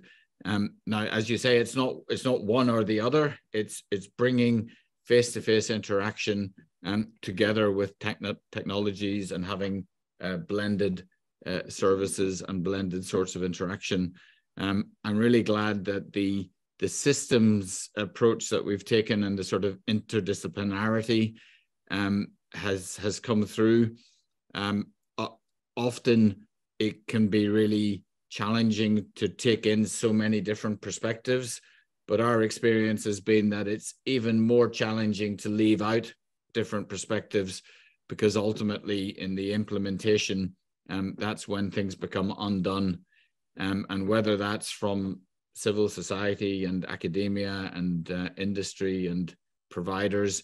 And um, as uh, Yoka was mentioning earlier, the importance of uh, informal uh, providers who, uh, as she said, provide actually the majority uh, of care for people. So um, thank you very much for those comments. And um, I, I, want then to give the panel a brief break, but we will come back to you. So don't relax too much. And I want to go over to uh, Stacey, and um, maybe Stacey, can you tell us where we're at um, with the question: What will a project like this be exploring in ten years from now? Yeah, um, so it's Stacey speaking um, again, and so I'd like to just thank the panel very much for your very interesting inputs on the presentations from today and obviously all the presenters um, that spoke today. So we've had some good interaction with our Slido on the question, what will a project like this be exploring in 10 years from now? Um, so I'm just going to read through some of our answers. We've had comments on accessibility, um, autonomy from support on older people. We'll be exploring assistant living technologies and processes. The differences will be in the power of the technologies being explored. Similarities hopefully still be the same focus on elevating the voices of older people and the voices of those who are directly impacted by the current processes. Empowerment of civil society, maybe looking at that intersectionality with older groups, women, etc um, protecting older adults, once again, intersectionality with environmental dangers, disasters, climate change, technologies as seamless support and not being pushed towards older people. Um, we'll be evaluating the impact that robots, smart homes, and other technologies have on the care of older adults living in their homes until the end of their lives. So supporting that community living. Um, tap the potential of technology to increase personalization of support services, taking into account individuals' preferences and an intersectional approach, ensure control and accountability complaint mechanisms, find ways to train artificial intelligence so that it upholds human rights principles, overcoming the barrier that the data will feed it. It is likely reproducing widespread stigma and discrimination, regulate to avoid that technology is considered a solution to the expense of human relationships, human support and care, and coordinate with social protection schemes and systems to facilitate equal access to the growing range of innovation. Um, Shapes will continue to explore its informational resources and piloting approach to ensure that the access to high quality, accessibility, and affordable is scalable across Europe. And the marketplace will continue to provide trusted products and services for the silver economy that fully respecting the rights of the older people continue to support a smart and healthy aging. Um, then we have collecting data, monitoring tech and social innovation and best practices. Tech is evolving at ex exponential rate, level of built and social infrastructure. To promote best practices, evolve standards and policies, ensure solutions support sustainability, scalability, adaptability, inclusivity, cross-section person-centered needs. And then we go back to sustainability and continuity through the Shapes Network, artificial intelligence, um, integrated policy frameworks. So there is a silo for policy on aging and disability. Policy should aim to be more inclusive by integrating perspectives on aging and disability to form a more holistic approach, and then solid feedback mechanisms in projects. So that's where we stand so far. I can cross check the chat to see if we have any more comments in there. Doesn't appear so at the moment. Okay, that that's great. Uh, thank you, Stacey. Um, so there's there's there's loads of uh, issues being raised and good questions coming in, and these are all going to be uh, collected um, within the report that's coming out of uh, this webinar, and that will be made available to everyone uh, who's attending the webinar and indeed uh, beyond that. So please keep your um, points coming in and, and your various, uh, doesn't need to be a question, it can be a statement. Um, and we will uh, look forward to sort of sharing this with other stakeholders. Um, last week, we had a very good um, meeting in the European uh, Parliament um, where you heard earlier about the smart mirror in um, uh, Sonja's presentation uh, about the different pilots. Um, so this was developed in uh, Spain, and we uh, were actually able to demonstrate it for some of the MEPs um, last week. And there's been a lot of interest um, in uh, developing this work further. We are also developing a a policy statement, um, as again uh, Yoko was uh, mentioning uh, this, as was was Mark uh, earlier, about the importance of linking up um, data and policy. So we're developing a a policy statement, which is also going to be circulated around the members of the European Parliament. Um, and that will be done in terms of a manifesto, which we hope that they will sort of sign up to as well. And in a few weeks, we'll be presenting at a, a WHO event um, uh, about um, how to design aging in Europe in the uh, years ahead. So all of your ideas, we're going to try and feed into these different sort of um, forums and uh, opportunities. Um, and just as I'm talking, I'm reading some of the um, comments, um, both in the, the Q&A and the chat and the Slido. And one thing I want to pick up on, it's a it's a it's a comment earlier in the chat about the the ChatGPT, uh, in fact. And um, uh, I'd really like to come to, to Cathy on, on this uh, first, but one of the, uh, I guess, things that many people um, in the sort of older community find both intriguing but also a bit scary uh, is the idea of, of artificial intelligence, machine learning, deep learning, etc., and of of this challenge of embracing it for for a rights uh, based approach. I know that you've done uh, work with the UNESCO uh, Center um, that that's developing this, and you're you're doing some work around that yourselves in in UCL. So, can you give us a sort of read of um, well, I know it's hard to say where machine learning will be next year, but maybe it's easier to say where it will be in 10 years. And what should we be hoping for and fearing? You're on mute at the moment. Easy one, Mac. Thank, you. Um, so, the person who can't find the unmute button. Um, so, I think it's important to realize that uh, artificial intelligence, as we call it, isn't actually that intelligent. Perhaps it's, you know, mostly it's just predicting the next word or the next phrase or, or beginning to predict that phrase in context with other phrases or uh, similar within, within pattern recognition or image recognition. So the important thing with any sort of machine learning application is that it has to learn. So we have to give it data to learn. So if that data has biases in it, then it's going to learn those biases. It, it can't it can't do anything else. It's, it's we're feeding it biased information. So that's the the first thing I suppose that we have to be wary of is um, you know we were in Ghana uh, month, last month. I was in Ghana trialing or trying to understand how a new application called the Google Relate project, which is freely available on Android, launched by Google. It's a great project. And this is not a project funded by Google. This was us just wanting to know how the Google project worked. Um, and it's been rolled out in Ghana. And so what it does is it takes um, speech or slurred or difficult to understand speech in English and it translates it into text um, and it will just work. And, and so it can create a, this freely available um, augmented or alternative communication system.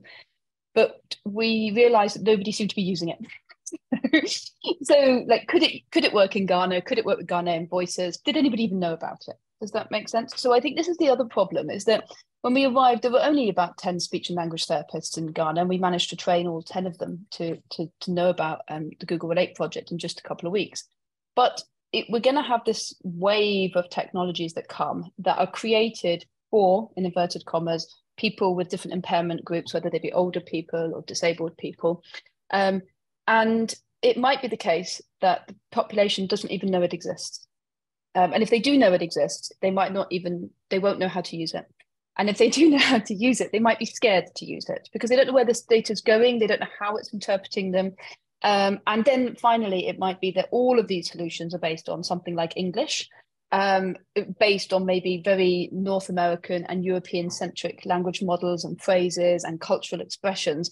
And therefore, in a way, those cultural expressions will be infiltrating you know other cultures and, and you could only use these augmented communication devices if you want to speak like us, not if you want to speak Ghanaian English, for example, which you should be able to speak, right? You, we sh nobody should be imposing a language or a culture on, on another on another um, another population or another culture. So I think where we're going is, like Mark said, we are going to get to the stage. Apple apparently are working on some very good AI models that are going to automatically generate lots of things for us. So we're going to go from images. So we will eventually get past all of the one-handed uh, sign language interpretation models because the, the amount of data that we will have will feed the ability to understand complex uh, sign language and maybe do sign language to sign language interpretation. It's always interesting when you need in you know british indian and international at different you know the different languages so but they you have it into into language uh, and also for people that don't use words particularly well we should be able to create images uh, or, or, or videos um, and I, I, think that will all happen. I, I think it's going to have profound changes on, on how we think, uh, uh, on how we educate. If I'm really honest, like we we will no longer. I was talking to some a friend of mine at Microsoft the other day, and you know, in computer science, one of the classic modules that you learn is computer science 101, how to code. You don't you don't have to learn how to code anymore. Not really. You just ask ChatGPT to write you a Python script, uh, you know, in different language, a script in this particular language, and it will write it for you to do whatever you want what we really need to do is be teaching people how to use these technologies what what use can be made of them and, and, and where the pitfalls of them are when when they make mistakes when the, the problems that are easy for them to solve and the problems that are very difficult for them to solve and when those problems will be um, particularly difficult i could keep going back but i feel like i should put a natural pause in there just to check that um, give yeah. others a chance to talk about other sure. things Sure. Well, th- yeah, th- thank thank you very much. And um, I mean, just what you've been saying, um, uh, people may not be aware on the call. There was a book written a couple of years ago by Azeem Azhar called Exponential, uh, and the underlying message of that, and I, I maybe ask Mark if he could comment on this, but the underlying message of it uh, as Cathy was saying, that the rate of technological development is exponential, but in fact, the the governance around it um, is not developing at anything like the same rate. Um, and Mark, you were suggesting that one of the uh, key challenges was that in future technology development, that we would have the, the lived experience of people with a range of different disabilities working with industry um, we have some projects like Shapes that do have a, a lead and very participative role for people uh, with a range of different different disabilities, but most projects don't, and most technology developed by industry uh, doesn't. So how can we change the, the, the governance and the expectation and as um, Cathy was saying that the narrative around how we should develop technology and how it should the development should be more participative.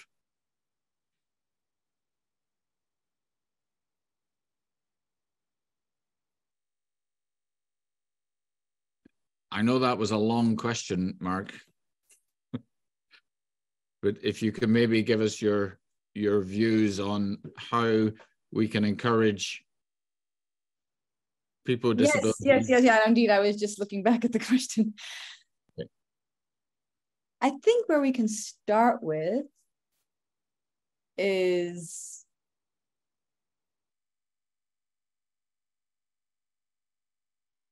people say that we need to get on the train before it leaves the station. And so they all say, we, if we're not, if we don't get on the train, you know, the train will leave without us. However, I think we need to add to that. Maybe we don't need to get onto the train, but we actually need to change the strategy or change the route of where the train is going. We decide where the train goes. So we don't even necessarily, so that step beforehand. I think that's a part that we're missing. If we want to be there, we need to decide where the train goes no matter how fast it goes or how slow it goes, if we're on it or not, uh, as, as we won't be left behind if we are the one in charge of the direction. I think that's a really important part that we need to remember that we are the ones in charge, then it'll work. Because what we want, what we what we want to have is not difficult to imagine. But I think that's something for us to think about that we decide where the train goes. Yeah. Yeah. Okay. I think that's a lovely uh, metaphor. Um, and the we maybe maybe need a train that isn't restricted to certain tracks. that um, and and maybe the uh, the world of technology is a bit scary, where the train maybe goes, you know, back and forth. Um, but this idea of it being guided through participation, through people deciding um, themselves, we need a a, a broader sort of governance structure that that ensures that is the case and where it's it's technology for people rather than technology for technology um, and maybe just building on that uh, and thank you mark and Joka if we could come back to you. You talked about the gains and the losses um, in terms of aging. Um, and you were thinking of this in terms of in 10 years time. Um, could you whether it's for yourself or for you know the broader sort of aging community which is of course hugely diverse. Um, talk to us about some of the the gains uh, as one gets older because i think that's a, a narrative that isn't developed enough. And and if maybe technology helps with some of those gains or maybe it's not necessary.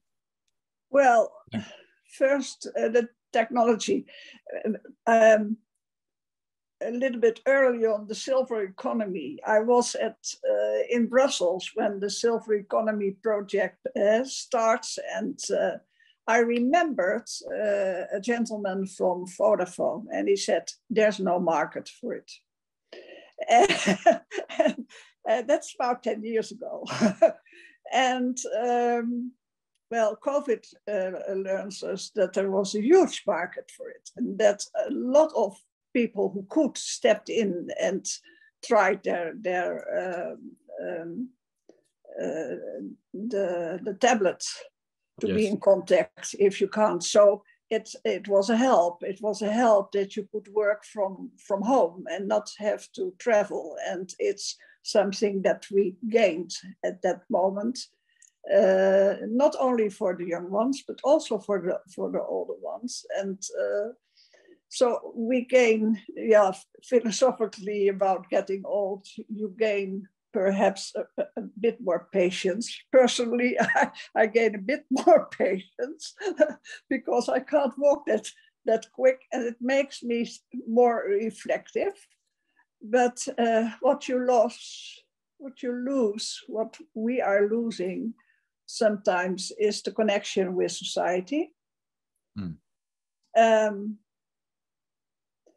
uh, and uh, losing people around you. There's a, a lot of loss, and there's a lot. Of, it's hard work to to um, accept that and uh, make it part of. Well, that's that's my life now, but there's so so much still left to do. Uh, that uh, always look at the bright side. Mm. Um, you see, um, I was thinking about what Mark was saying and uh, Katie, that uh, you both have the, the, the privilege of having a United Nations um, guidance for yes. people with disabilities uh, we, we as old ones are struggling to get have the same. You have the strange effect that uh, I'm, I'm a, a, informal care for my sister-in-law. She is deaf blind. Uh, she is 63. When she is 65 now in the Netherlands, 66, 67, it never will, will go away, but then she is old and then she doesn't have the the, the, the protection from what she has now. You mm. lose it in a way. That's it's a very strange yes. uh, effect, and uh, that I think in when we speak in age, you you you hear that in different uh, um, different countries. There are things for unless you are uh, younger, and then but you stay the way you are. You can't walk, you, you can't see. You have you you need certain things, but then you're old, and it's it's there is a we have to do something about that. So we are really struggle to have our, our own formal rights like people with uh, uh disability. Hmm. Okay, well, well, thank thank you. And um, one of the um, I have a neighbour here who has uh, two children who live in Australia, um, mm -hmm. and of course, there's a long history of Irish people migrating to Australia, and, and I know. Yeah, and um, so she is a, a grandmother many times over, and she was saying to me just the other day how um, she felt that one of the big gains for for her was one having more time for her children, uh, her grandchildren, and two being able to know her grandchildren in Australia almost better than she knows her grandchildren in Ireland because she spends a lot of time on online. And um, you know, I think that's one example of how technology can mediate certain yes, certain that, That's that's true. That's true. Yeah although uh, Australia is fine because my dearest older sister was living in Australia, and uh, I know that uh, my uh, my cousin there sometimes is reading for their, her grandchildren living in Victoria and they living in Queensland. They were reading. She was reading the books. by video for her grandchildren because it's a four and a half hour flight to go there. So yes, we have. There's a lot of things to celebrate in uh, uh, with with um, this, but also you have to see that uh, sometimes the ability is um, decreasing of using it. I fear for the time that I need another telephone because the display is a bit different and I really have to to fight to handle it like I do with the old one. But sure. it's that's with so that's um, and whenever you have a small uh, uh, brain accident, all of a sudden things are gone. And, mm. and so uh, a lot of, of, of, of uh, what you what you gained and what you studied before is sometimes out of out of out of your hand out of, that's actually I see you do this. yes. Yeah. It's, well, I think it it's it's very important that you convey uh, as as you do very clearly, you know, the the real challenges that there certainly are gains, but there are a range of losses that sometimes yes. not can undermine uh, some of the technologies that that we hope will assist people so, you know, cognitive abilities can both be strengthened through technologies, but if you have a stroke, for instance, then other modalities need to be uh, developed. Um, and I think that relates to some of what um, uh, Mark and Lucia was saying in terms of um, not having just one mode of access to, to different technologies, but whether it's motor skills or whether it's um, mm-hmm. Deafness or blindness, people need a, a, range of ways to be able to connect. Otherwise, they become very, uh, very isolated. Yes, and, and let us uh, think, uh, Mac, that in the end of the day, that uh, it's it's not a computer. It's it's not all the all the different equipment. It's a, a human hand. Yeah, yeah. and uh, that's that's um, uh, I don't think I look at my tablets when my, time is called, but I love to have my people around and hold their hands. Yeah, yeah, yeah. Of course, of course. Um, thank you. So, Lucia, if we can come back to you and um, you mentioned a word which I love, but it's sometimes very difficult to make it concrete, and that's sort of intersectionality. Um, so, in 10 years' time, will we be any further forward regarding intersectionality? or will our attempt to be more diverse just make intersectionality more of a difficult task? I think so. We're already seeing how an intersectional approach is being um, embraced in projects, in strategic frameworks, in core values of organizations. I do think so. Like we're understanding that humans are multi-layered, they're complex, they have different labels that they identify themselves with, and we're understanding now that the intersection of all of those identities have results and have consequences.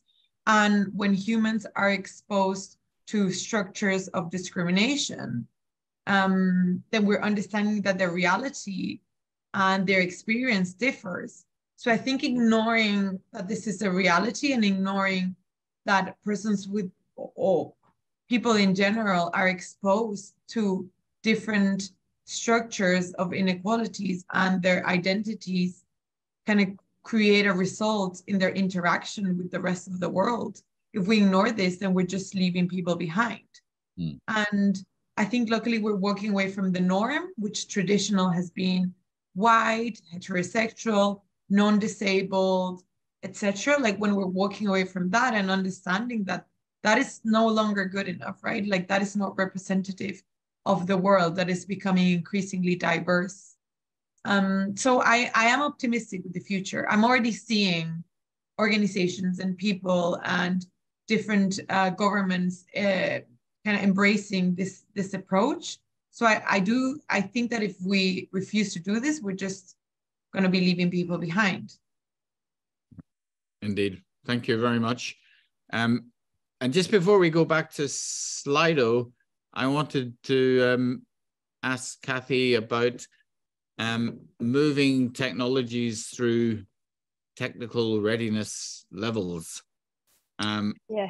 Does she have advice going from prototypes to what people can actually access in their sitting room, as it were?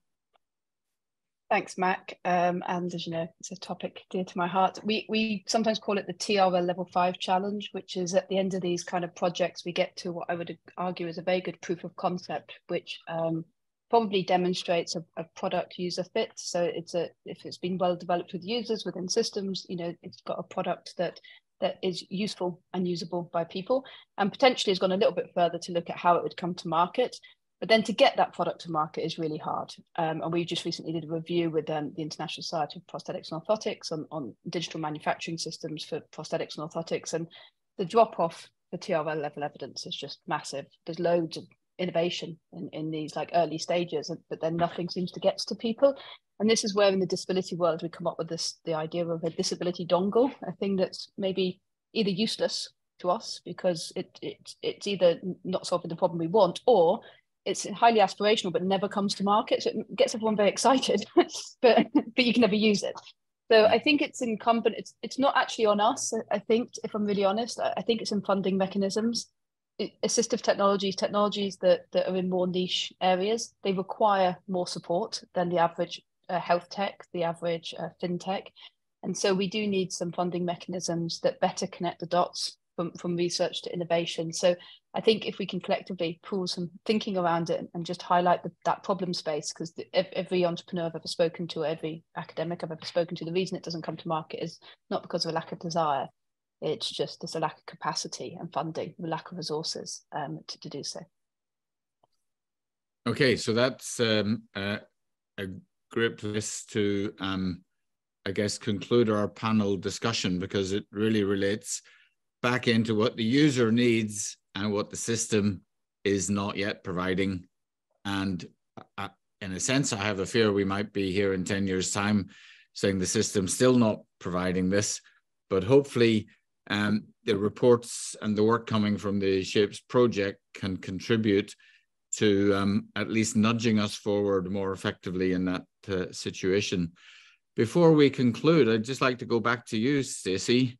Um, and like to thank all our panelists for their um, open and uh, engaging uh, contributions. Thank you for being honest and challenging uh, with us as well. Stacey, where are we? Um, have we got any Nobel Prize winning ideas from the Slido? Um, who knows? um, it's up to the academics, I think, to make that happen. um, but we've had some great interaction. There's nothing new as of yet. Um, but I will be leaving the Slido open for an hour after this closes. So that will be 2.30 Central European time or 1.30 Irish time. Um, so people feel free to continue to contribute your engagement, your thoughts and your comments. Um, you can also email the shapes.info at mu.ie email um, with any additional comments that you'd like added to the report or for us to consider moving forward. Um, I'd also like to reiterate Mac's thanks not only to the panelists, um, your contribution has been massively appreciated and engagement. The attendees also for everyone who's attended, um, also your engagement and discussion has been fascinating and we're delighted to have it. Um, Mac for stepping in and moderating so thoughtfully. We're always desperately appreciative of our marvelous PI and coordinator.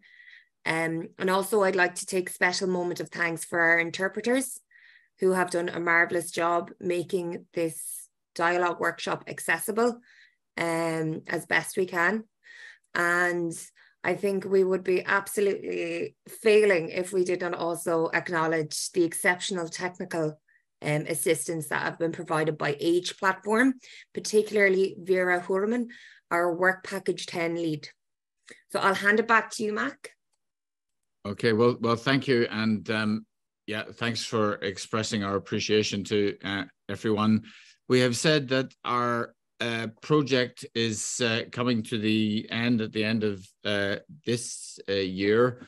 We have um, some uh, events with WHO in terms of the European office to try and get as much impact for our work as as we possibly can.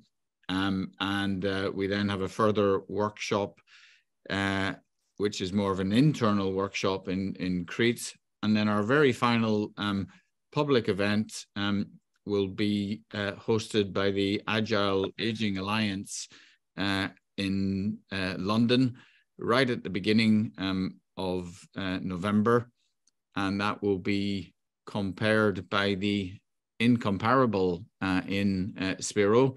Um, and we will be highlighting there eight uh, new technologies that come from um, uh, an open call, which we have uh, funded. And these are technologies uh, which have been commissioned to address particular uh, problems that really promote uh, social inclusion in, in a meaningful way. Um, so we we really look forward to to that. It's a sort of dragon's den but they've already got the funding. So um, we hope to take the competitive element out of it and to have it more of a sort of celebratory um, event.